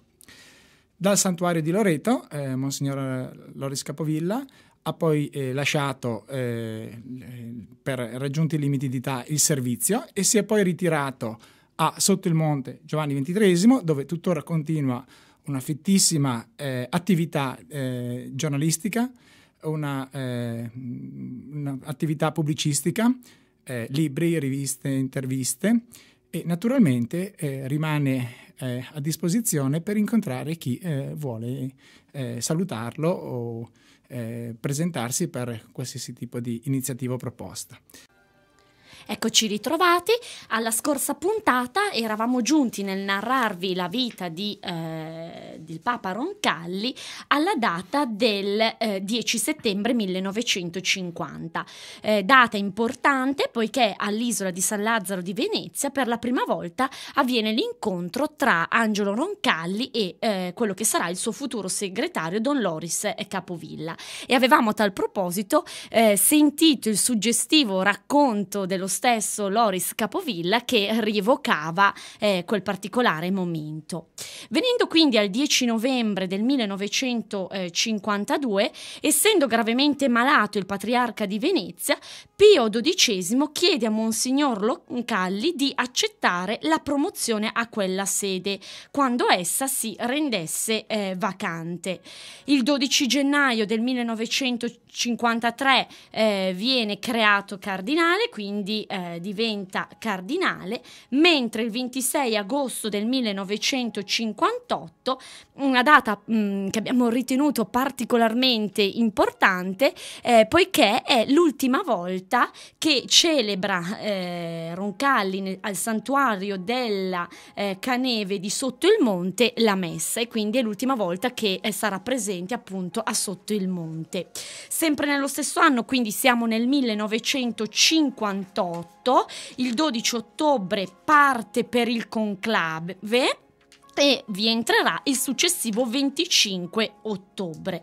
Verrà eletto poi Papa il 28 ottobre ottobre, assumendo il nome che tutti appunto conosciamo di Giovanni XXIII. La sorenne eh, incoronazione sarà celebrata il 4 novembre.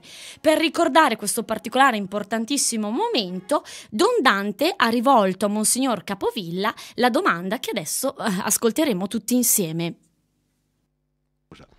Ecco, siamo la prima domanda che vorrei rivolgerle è questa qui. Siamo nell'anno cinquantesimo dall'elezione di Papa Giovanni XXIII, una distanza ormai storica. Si può oggi valutare l'importanza della svolta data alla Chiesa da Papa Giovanni, proprio in una prospettiva storica? Eh, rispondo subito a questa domanda, però con uh, un grazie a voi che mi avete chiesto mm, la mia collaborazione per questa rievocazione, ma eh, specialmente a Monsignor Vescovo perché è lui, Monsignor Roberto Amadei, che ha voluto chiamare questo anno 2008 anno cinquantesimo, non solo giorno, una data, ha voluto tutto l'anno. Allora siamo molto contenti che questo va in onda il 25 gennaio eh, che è una data tanto bella.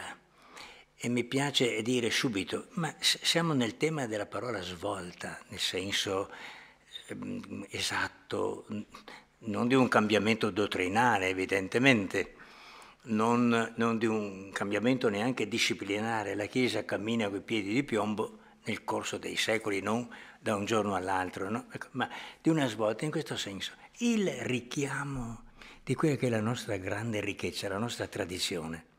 Dico a me stesso e dico ai miei fratelli preti, sentite, se noi avessimo soltanto davanti agli occhi l'immagine di quello che è per noi il grande archivio della patrologia greca e latina, 340 volumi, dove c'è raccolto tutto il pensiero cristiano. E, sa, e, e andando dentro, in, dentro in, in, chiamerei una fornace ardente, chiamatelo cenacolo, dentro questo abbiamo la sicurezza di non sbagliare, di camminare con dottori, con persone illuminate, con profeti e con i santi. La grande tradizione per noi svolta vuol dire torniamo a casa per piacere, torniamo dentro a questo che ci è stato dato, che abbiamo, direi, preso insieme con il latte della mamma il catechismo, librettino piccolissimo che poi si allarga, si completa, si approfondisce con gli studi perché eh, c'è un po' di differenza tra il semplice cristiano del segno della croce e degli atti di fede, speranza, carità e dolore e il grande teologo San Tommaso d'Aquino. Ma tutti dentro siamo in questa grandissima fornace nella Pentecoste. Papa Giovanni ha parlato di novella Pentecoste non intendeva profetare una discesa dello Spirito Santo, ha parlato di rinnovata primavera. Ogni anno la natura ha una rinnovata primavera. Papa Giovanni ci ha chiamati a riflettere sulla grande ricchezza che abbiamo ricevuto, la divina rivelazione, ma poi questa è anche passata attraverso i canali della nostra tradizione dagli inizi e troviamo i nostri inizi negli atti degli Apostoli, nelle lettere di San Paolo, dagli inizi sino ad oggi. Abbiamo avuto una profusione a non finire di ripresentazione del messaggio cristiano, che è sempre quello però, che è sempre quello. Sappiamo che con l'Apocalisse di San Giovanni le manifestazioni dirette la parola di Dio direttamente rivolta a tutti noi è chiusa, null'altro verrà aggiunto, ma noi possiamo approfondire, studiare, riflettere, contemplare. Papa Giovanni ci ha invitato a questo in modo tutto particolare. Svolta nel senso, ricordiamoci da dove veniamo, chi siamo, dove andiamo. E questo è già in nuce quando lui il 25 gennaio 1959, Papa appena da, da due mesi, due mesi e mezzo, invita tutti tutti i vescovi del mondo a trovarsi per la prima volta nella storia di 20 secoli tutti insieme a Roma, perché è il vero primo grande concilio ecumenico. Mi, mi, piace tantissimo, questa è semplicemente una rinnovata primavera, dopo 1958 primavera, 1959, vabbè, bellissimo questo, quindi niente di nuovo, ma anche tutto di nuovo direi che di nuovo mm, c'era, c'era questo, un uomo che ha ricevuto tutto da di fuori di sé, a cominciare dal battesimo, è un dono che ci viene da Dio e che, che passa attraverso la mediazione del proprio padre spirituale che è il parroco. Eh, partiamo di qua. Viene da una famiglia, in questa famiglia si prega, si lavora, si vive, Beh, ci sono i piccoli contrasti anche delle famiglie più buone, no? ma però che si superano con che cosa? Con quello che richiamava continuamente Papa Giovanni, il timor domini, cioè la delicatezza di coscienza, traduco io, non la paura del Signore, no? la delicatezza di coscienza, camminare. Cioè, quando io penso, ma Papa Giovanni, ma dove ha imparato a pregare? In parrocchia, all'asilo, in seminario? No, a casa sua. Dove ha imparato a obbedire? Lui che metterà poi nel suo blasone episcopale obbedienza e pace a casa sua. Ma quando lui è nato è una riflessione grande che si deve fare, specialmente nella Bergamasca. Pensate, abbiamo avuto delle famiglie che erano come delle piccole tribù, che lavoravano con un boccone di terra, che tenevano la stalla. Ma in quanti erano? Beh, in casa di Papa Giovanni, quando è nato lui, erano, erano 33 persone, 33 persone ci vuole sempre uno che dirige il patriarca, il capoclan, chiamatelo come volete, no? E chi era questo qui? Non era neanche sposato, era un celibe, ma un celibe che viveva come un monaco, come un monaco. Era lo zio Barba. Eh, zio Barba, eh, il Barba Zaverio, che era il, il, il maggiore dei fratelli e gli altri, si capisce, il papà di Papa Giovanni era, era, era, aveva famiglia, evidentemente, no? Ma nessuno mai divenne capofamiglia. Rimase capofamiglia sempre il celibe, Saverio Roncalli, che morì a 88 anni poi. Per, per allora era anche una, una, un'altissima età. Ma, cioè, allora quest'uomo che è partito dai, da, dai solchi modesti, poveri di sotto il monte, dove c'erano alcuni proprietari terrieri, non c'era nessuna famiglia che possedesse, erano o, o fittavoli o mezzadri e, e, altri erano braccianti, no? E così si viveva della terra. Come fare a sfamarsi? Beh, si aiutavano con la stalla, col pollaio, sapevano le donne che cosa facevano, sapevano fare di tutto. Poi è cominciato verso gli inizi del XX secolo, è cominciato un po', un po di industrializzazione nelle valli bergamasche perché c'era l'acqua tra le altre, no? ma la maggior parte è vissuta dell'agricoltura e della stalla, e della stalla. Ed è vissuta in un clima di molta semplicità e modestia. Anche quelli erano uomini e creature. Lo diceva Papa Giovanni. Diceva, io so da chi vengo, non erano tutti santi, erano anche peccatori, ma la differenza che passava tra allora e ora, diceva lui, dunque già, già al suo tempo, è questa, che i nostri vecchi avevano il timor domini, potevano sbagliare e peccare, ma conoscevano i tempi della conversione. Se adesso noi perdiamo questo contatto con quello che è stata la nostra sorgente, dove è venuta l'acqua salutare che ci ha battezzati, che ci ha purificati, che ci ha nutriti ed educati, se perdiamo questo contatto, eh, noi dove andiamo? Siamo, siamo sperduti come fuscelli al vento. Parole veramente, cioè realtà veramente troppo importanti e purtroppo oggi molto disattese. E quest'ultima parte poi che oggi si dice bene al male e male al bene, purtroppo è la tragedia non della Chiesa, ma anche della Chiesa, ma soprattutto dell'umanità di oggi.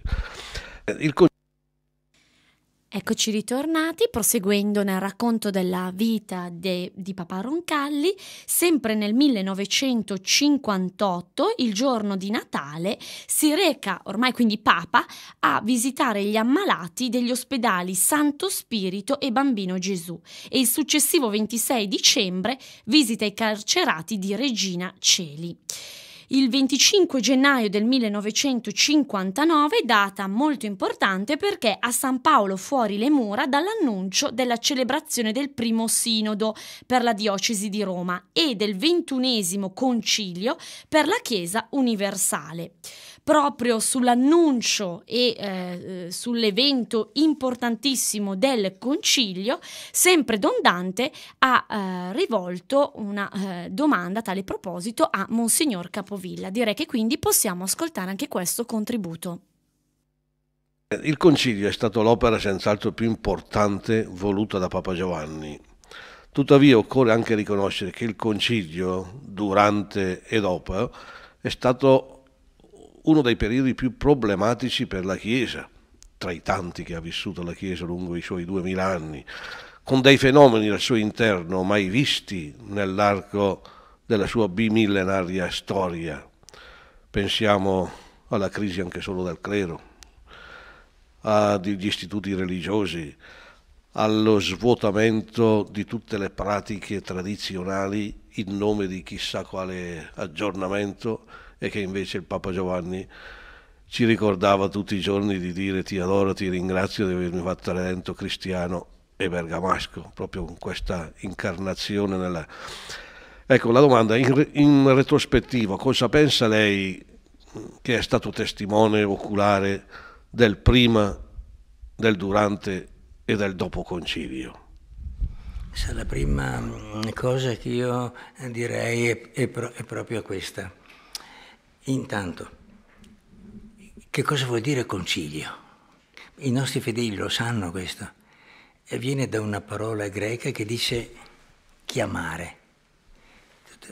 Il, il, il Papa invita i vescovi a venire a Roma, attorno alla cattedra di Pietro, presso, presso il sepolcro dell'Apostolo Pietro.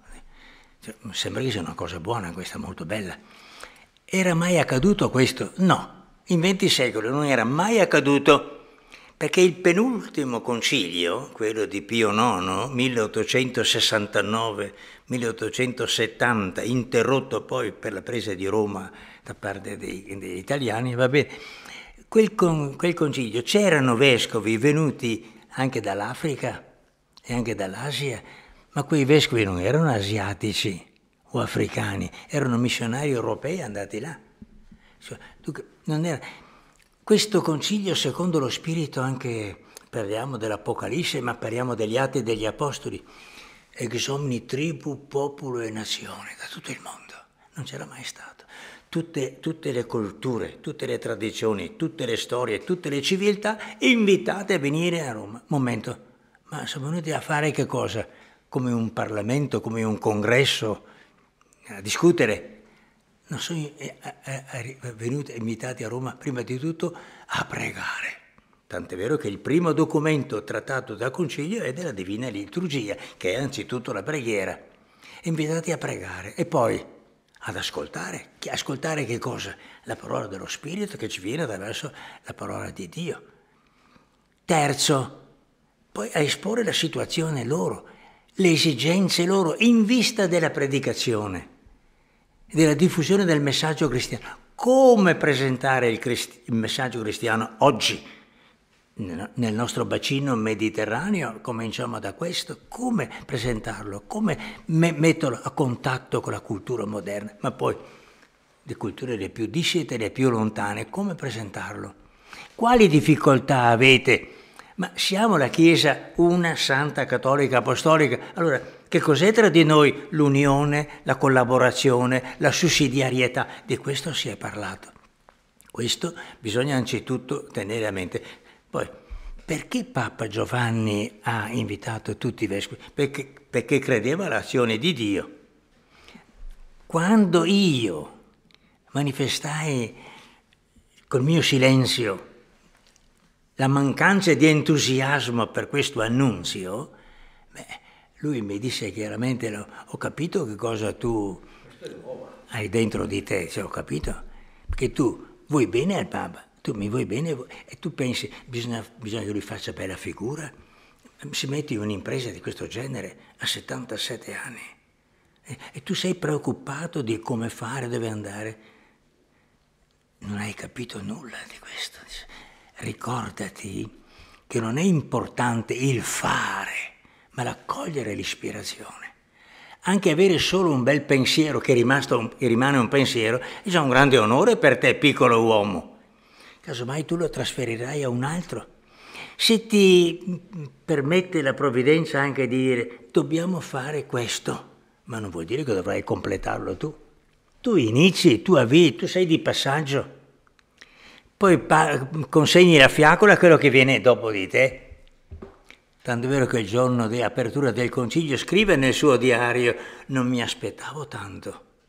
Era già grande onore per me, piccolo prete venuto da sotto il monte, l'avere solo annunciato tutto questo. Il Signore mi ha permesso anche di vederne la preparazione e, e, e l'inizio. Se poi dopo la continuazione e la conclusione passerà un altro, fiat voluntas tua sicut in cielo et in terra.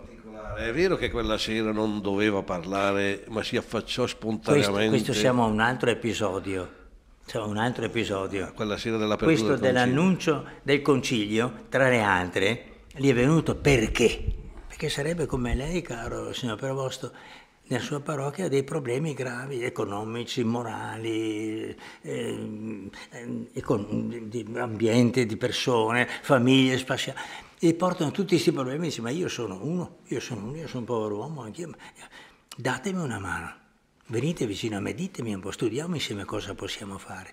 Dice, tutti i giorni vengono i cardinali, all'inizio, i primi giorni, riversano sul mio tavolo le esigenze che hanno sulla liturgia, sui seminari, sul clero, sulla situazione economica, sulla missione, sulla parola, eccetera. E io da solo, e anche con tutti i miei collaboratori qui, non possiamo, non siamo, non siamo all'altezza di rispondere a tutto questo. Mettiamoci tutti insieme a pregare, a supplicare Dio, ad ascoltarlo e a scambiarci le nostre esperienze. Questo è, questo è il primo. Traiate è un grande atto di umiltà.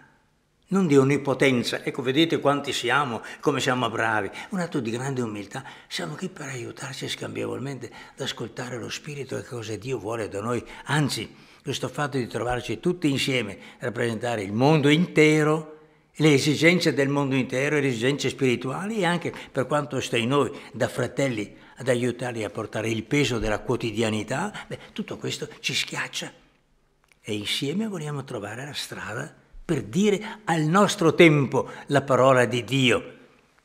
Io molte volte mi domando, sì, le difficoltà ci sono, ci sono state, c'erano, erano da prevedersi, ma prendete in mano per favore i documenti. Se tu prendi in mano i quattro documenti principali, specialmente i sacerdoti devono fare questo, dice, domando, ma scusi signor Preposto, lei chi è?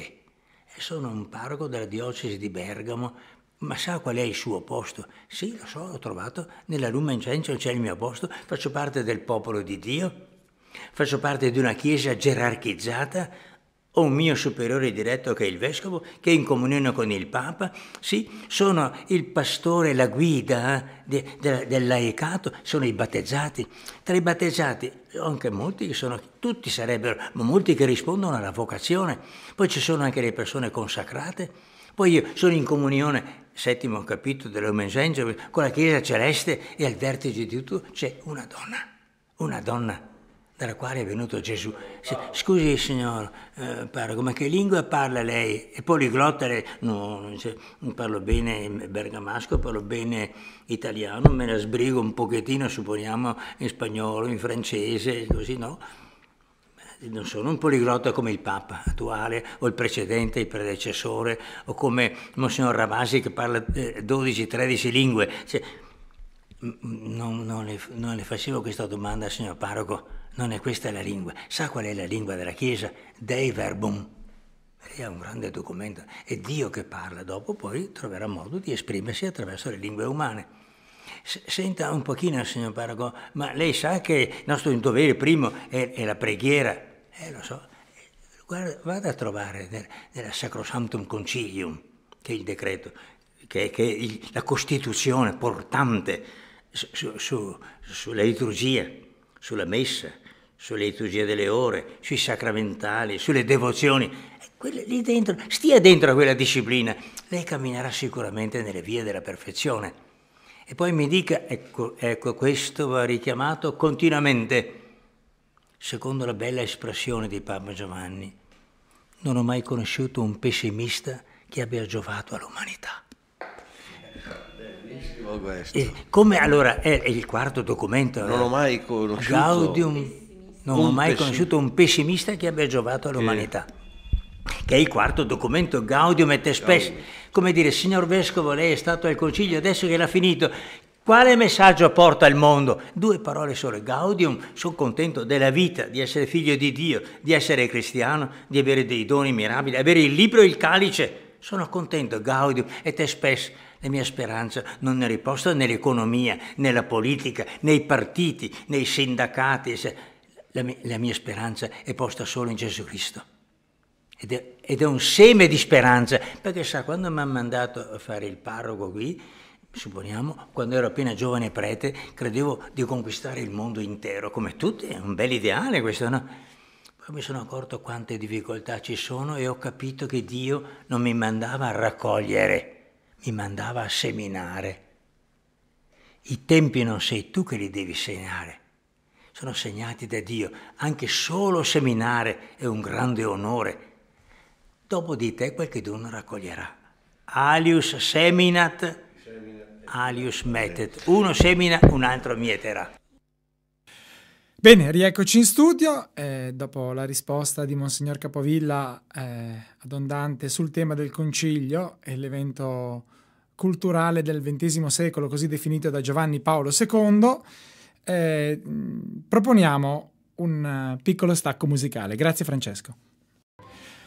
Eccoci di nuovo in studio, riprendiamo dall'anno 1959 eh, tratti salienti del pontificato di Papa Giovanni XXIII. Il 29 giugno la prima lettera enciclica At Petri Cathedram, mentre successivamente nel 1961, il 15 maggio, la, prima let- la lettera enciclica Mater e Magistra nel settantesimo anniversario della Rerum Novarum.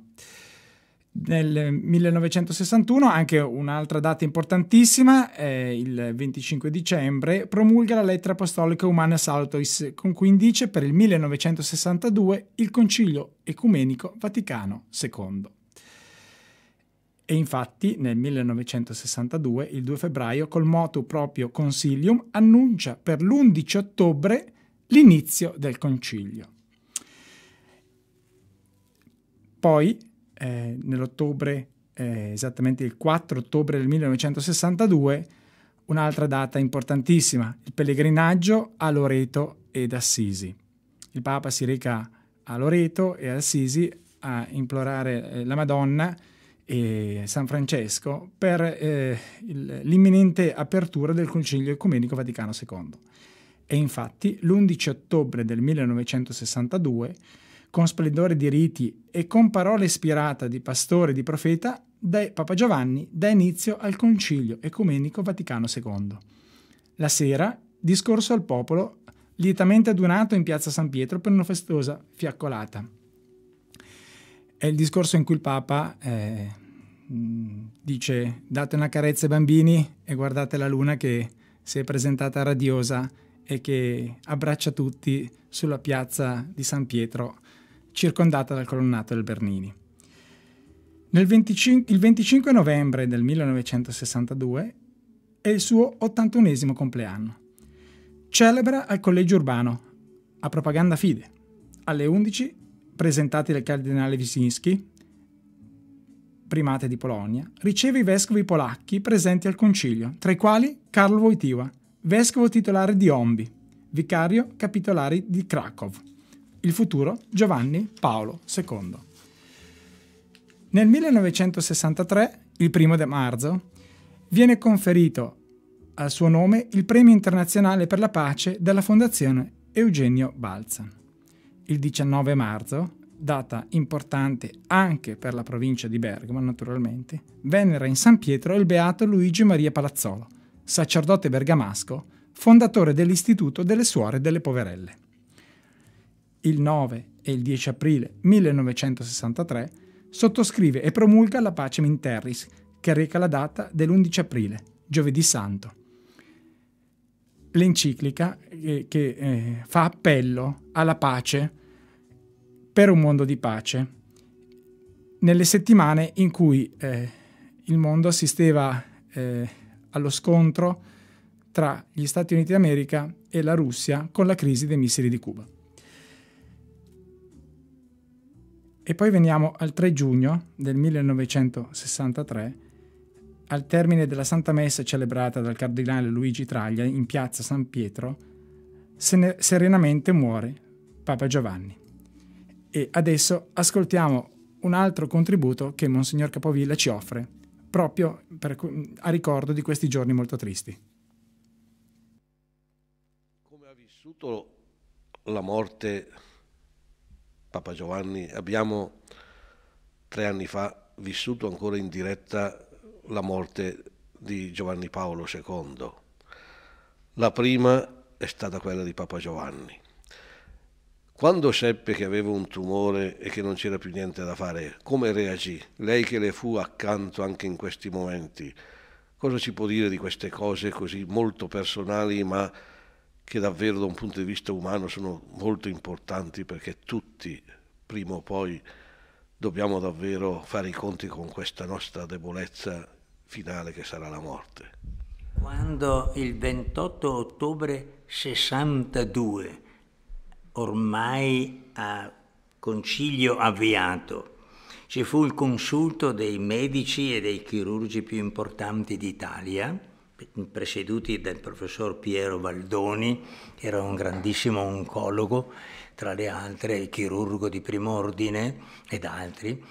Quando entrarono, erano sei o sette nella sua stanza che li ricevette con molta... nello studio, non in camera da letto, eh? in piedi, e così Dice, allora sentite un pochino, dice, me potete parlare chiaramente perché sentite, dice, nel 53 mi è morta mia sorella per un uh, tumore allo stomaco, nel 54 me ne è morta un'altra, nel nel 55 un'altra ancora, nel 56 della stessa malattia è morto mio fratello Giovanni.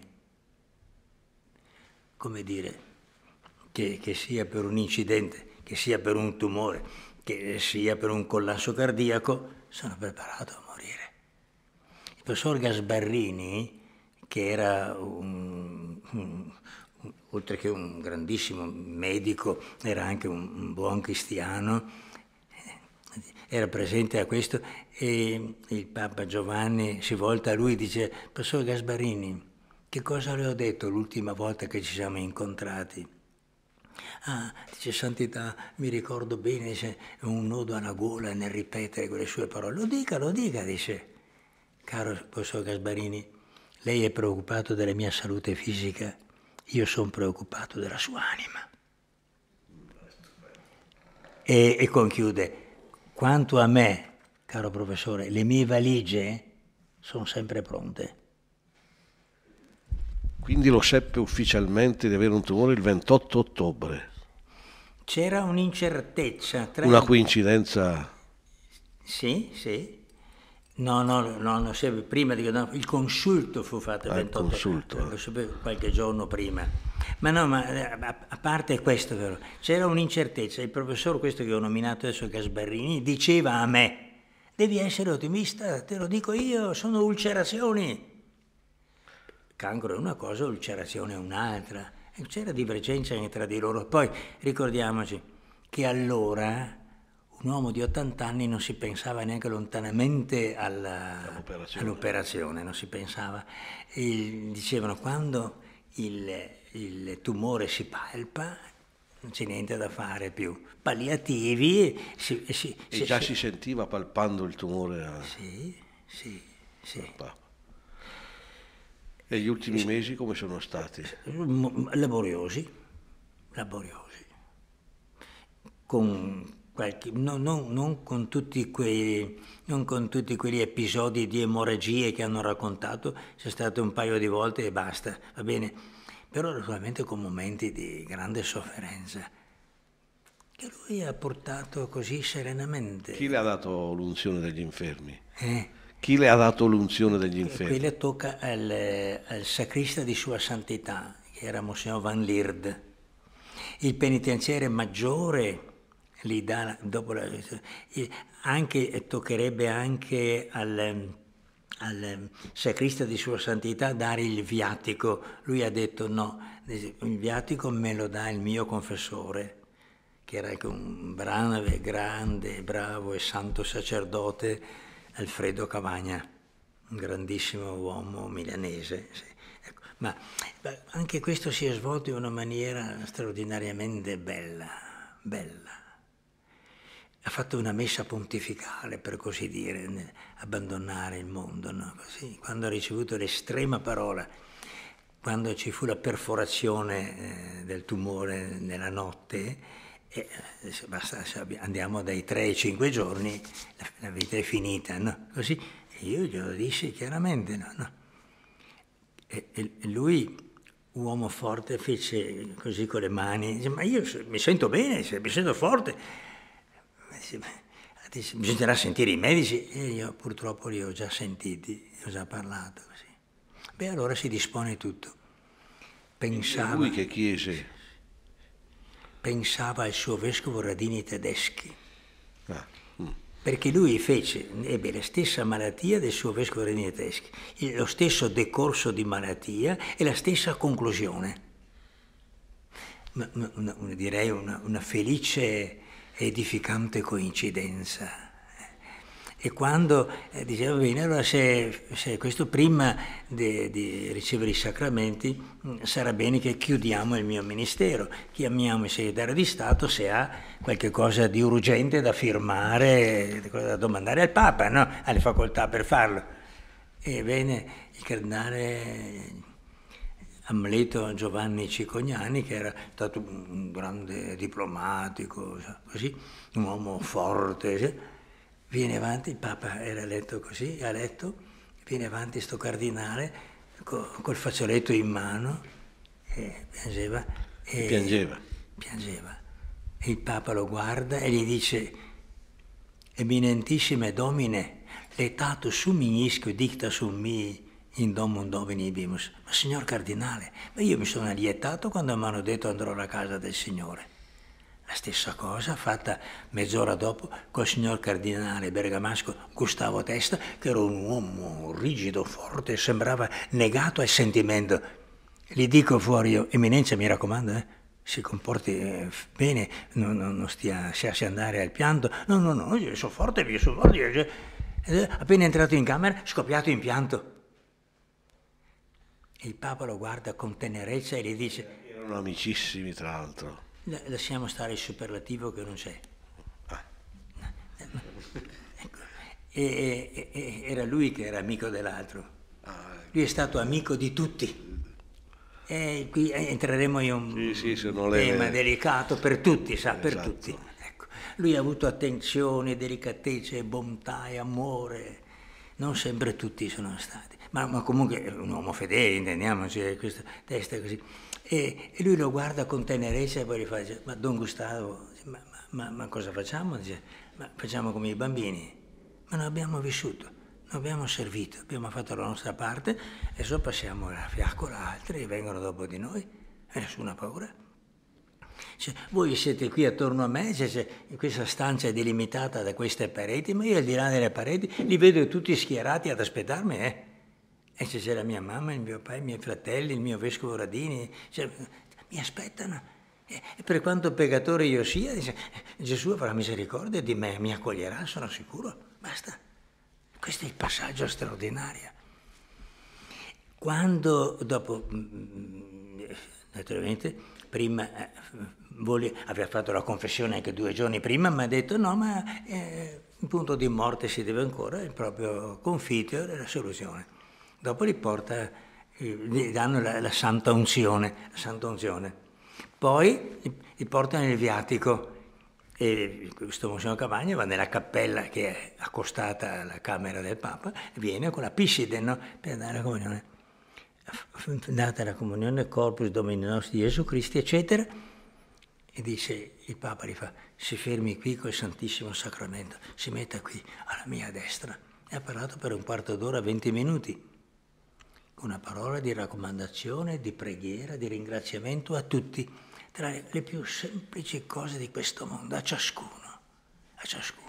Un'ultimissima curiosità, è morto lucidissimo no. o è entrato in coma le ultime ore? Le ultime ore è stato in coma, sì. Qualche sprazzo, anche, anche perché per alleviare i dolori eh, devono fare questo, altrimenti uno morirebbe urlando anche un papa. Bene, radio, ascoltatori Radio Lemine, rieccoci ancora in studio, eh, questa puntata dedicata a Papa Giovanni XXIII.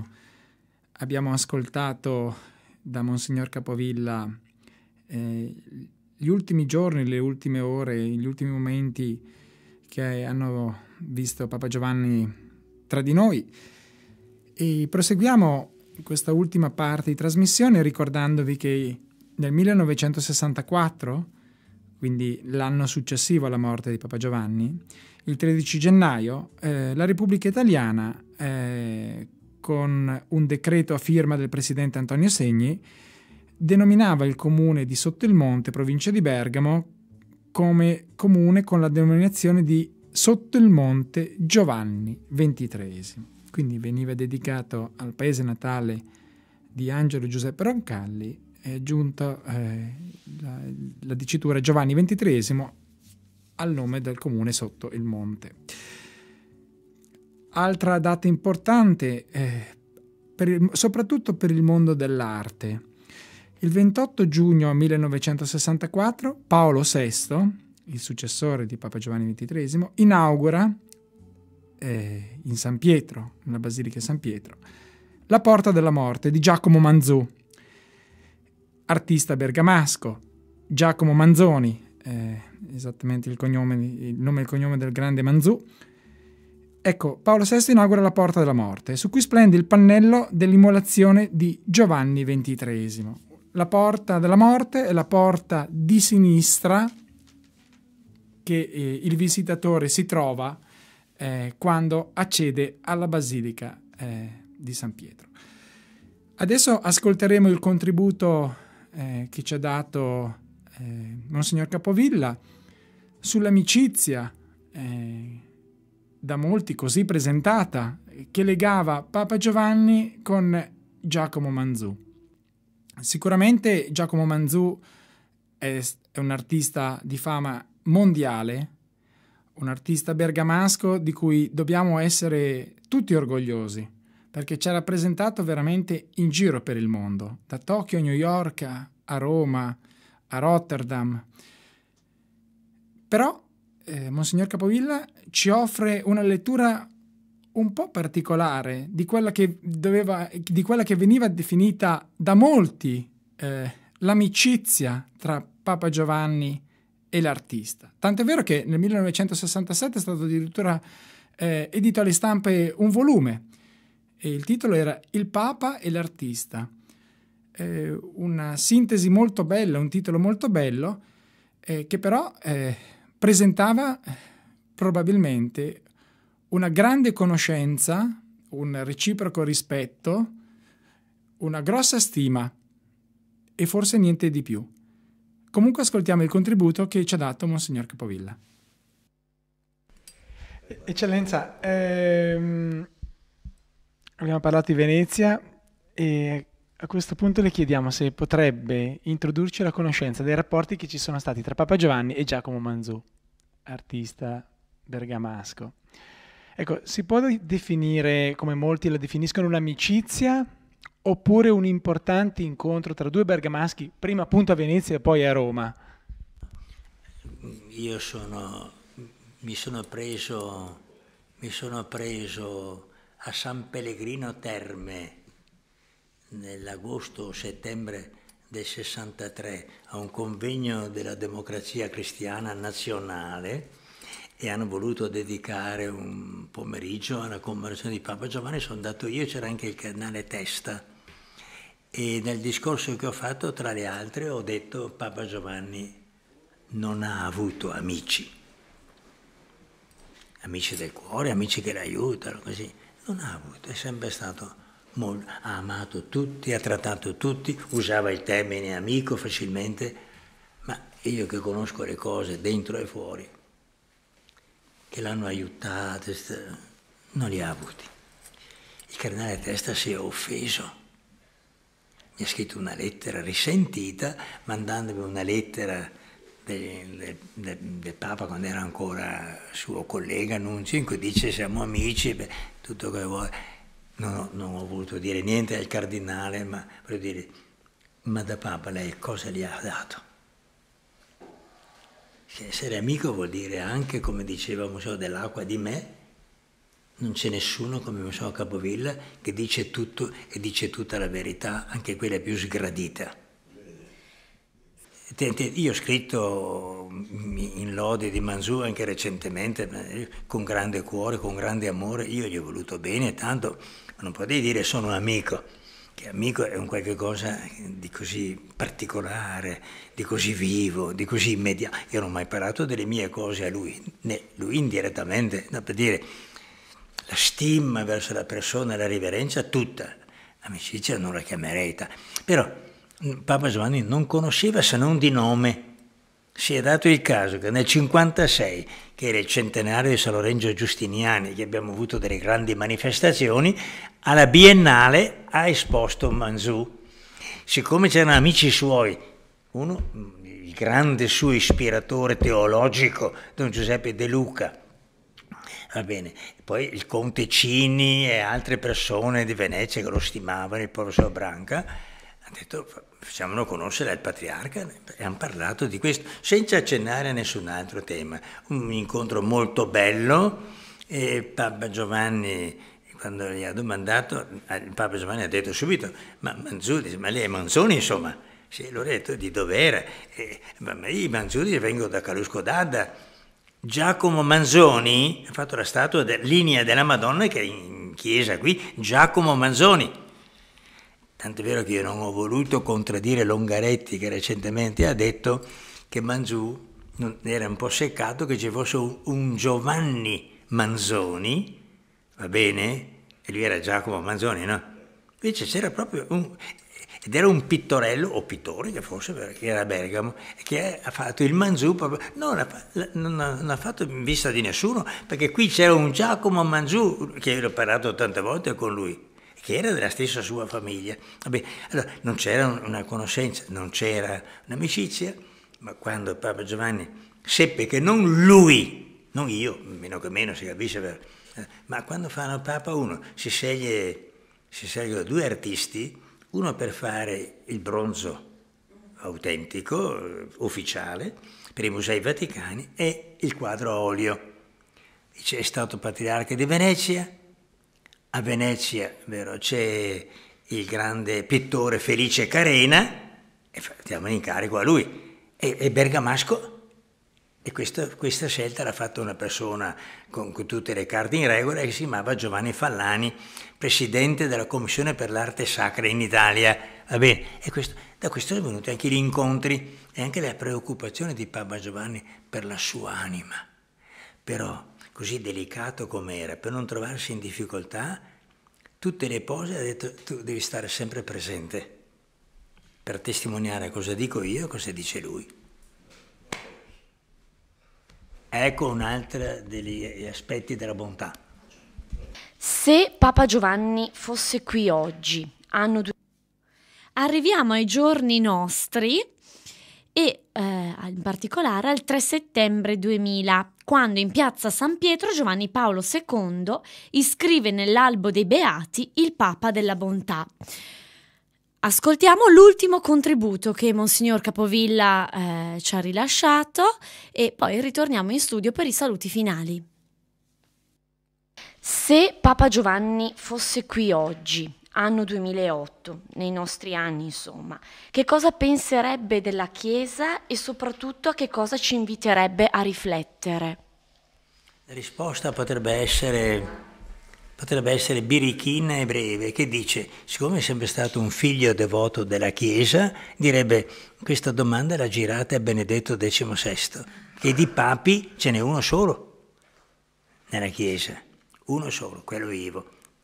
Però io dico questo, mm, credo che continuerebbe a insistere su quelli che sono gli aspetti positivi che si trovano non solo nella Bergamo, che ha questa etichetta di cristiana cattolica e in passato addirittura di sagrestia d'Italia insieme con Vicenza e Padova.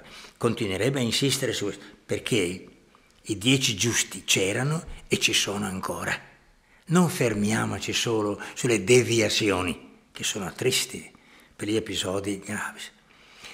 Naturalmente forse non direbbe più, come diceva a me è stato quel vescovo, parlava di una diocesi italiana, Madonna dice, quei benedetti preti, dice che gli danno tanto da fare, povero vescovo. A Bergamo no, eh. A Bergamo no.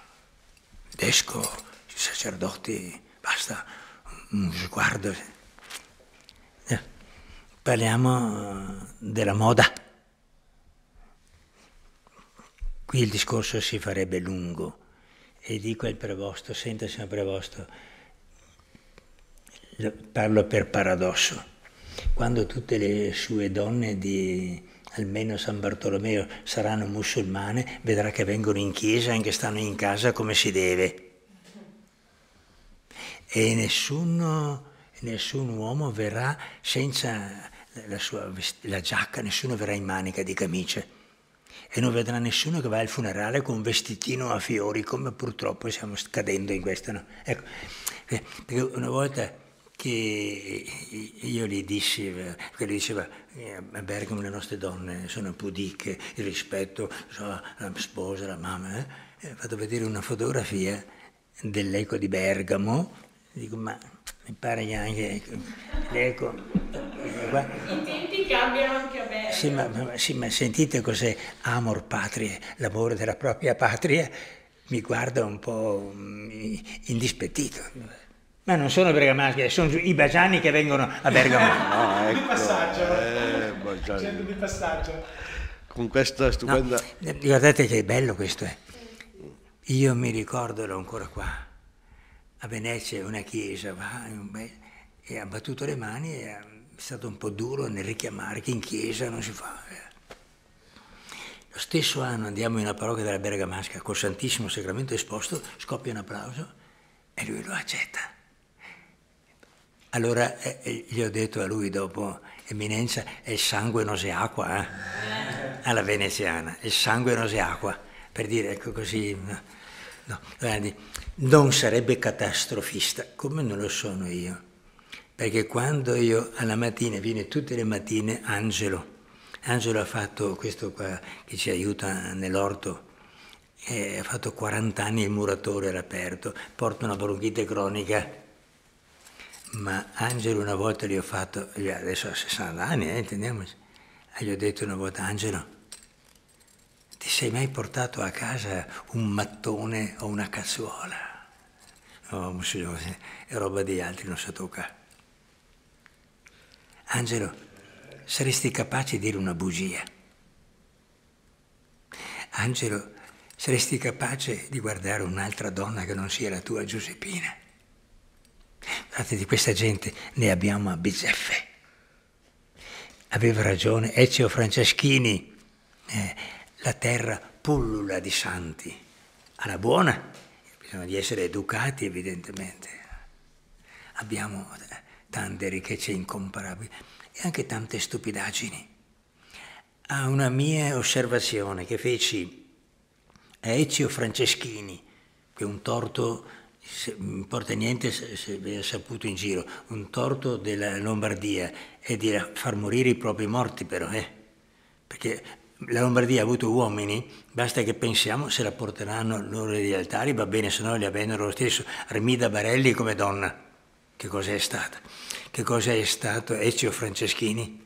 Che cosa è stato Giuseppe Lacciati, per dire Ludovico Necchi, che cosa è stato? Vergogna dimenticare queste grandi figure nominatele qualche rara volta, Vabbè, ma la, la, la, lasciamo stare, non, facciamo, no, non voglio dare esempio di recriminazioni. Noi abbiamo queste grandi ricchezze, stupende.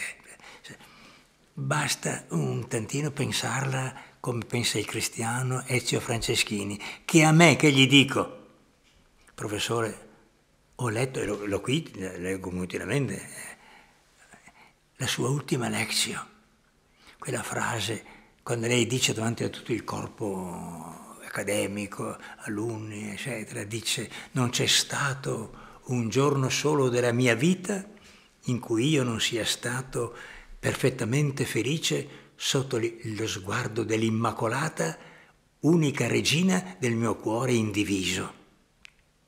Questo è molto bello, professore, ma è un po' iperbolico. Non c'è stato un giorno solo in cui io non sia stato, non dice felice, perfettamente felice. E lui sorridendo mi dice, ma Monsignor Capovilla, dice, ma guardi che nella mia vita io ho sempre fatto una netta distinzione tra il contingente e l'eterno. Sì, nel 68 ho avuto dei grattacapi all'Università Cattolica, sono cose che passano quelle, l'eterno rimane. Eccellenza, questo stupendo messaggio eh. di speranza che poi e di ottimismo, e, ma poi anche di richiamo serio ai nostri valori che sono quelli che Papa Giovanni ha incarnato e ha fatto vedere al mondo intero. Questa mattina ci ha deliziato, ma soprattutto ci ha incoraggiato sulla via di Papa Giovanni, noi che abbiamo la fortuna di averlo qui. E ancora io ringrazio lei che ci dà questa testimonianza così diretta, lo ringrazio ancora tantissimo a nome di tutta la popolazione di Almeno che ha questa primizia in tutta la Bergamasca. Le chiedo, ecco, possiamo magari anche diffonderla a livello diocesano perché è troppo importante che in quest'anno vorremmo proprio che Papa Giovanni ci aiutasse davvero a riportare la nostra Chiesa, o meglio a ricontinuare, non lo so, eh, la nostra Chiesa di Bergamo su questa tradizione che è una cosa fantastica e una ricchezza vera di un popolo. Un'ultima battuta, eccellenza, io adesso dico... Beh, intanto grazie, grazie eccellenza veramente dell'incontro e grazie di questa conversazione che è stata molto ampia e che ci ha sicuramente illuminato ulteriormente sulla figura di Papa Giovanni. Grazie. Anche da parte mia, grazie di averci ospitato e di averci dedicato buona parte della sua mattinata. Grazie ancora. Concludiamo con questo ultimo contributo che vuole essere un'osservazione sui nostri tempi, le due puntate che abbiamo dedicato a Papa Giovanni XXIII. Ci auguriamo di avervi presentato nella forma più completa la storia di Angelo Giuseppe Roncalli, nato a Sotto il Monte, eh, sacerdote bergamasco, eh, segretario di un vescovo di Bergamo, eh, sacerdote che poi ha avuto l'incarico eh, dal punto di vista diplomatico di rappresentare il Papa in Bulgaria, in Turchia e poi in Francia, che è poi ritornato in Italia diventando patriarca di Venezia ed è poi diventato, eh, è sta- è diventato Papa ed è stato eletto al soglio pontificio nel 1958, 50 anni fa. Ciao Marco, buona serata. Grazie Piera. Ciao, a te buona serata e un saluto a tutti i radioascoltatori di Radio Lemine. Di nuovo, buona serata a tutti.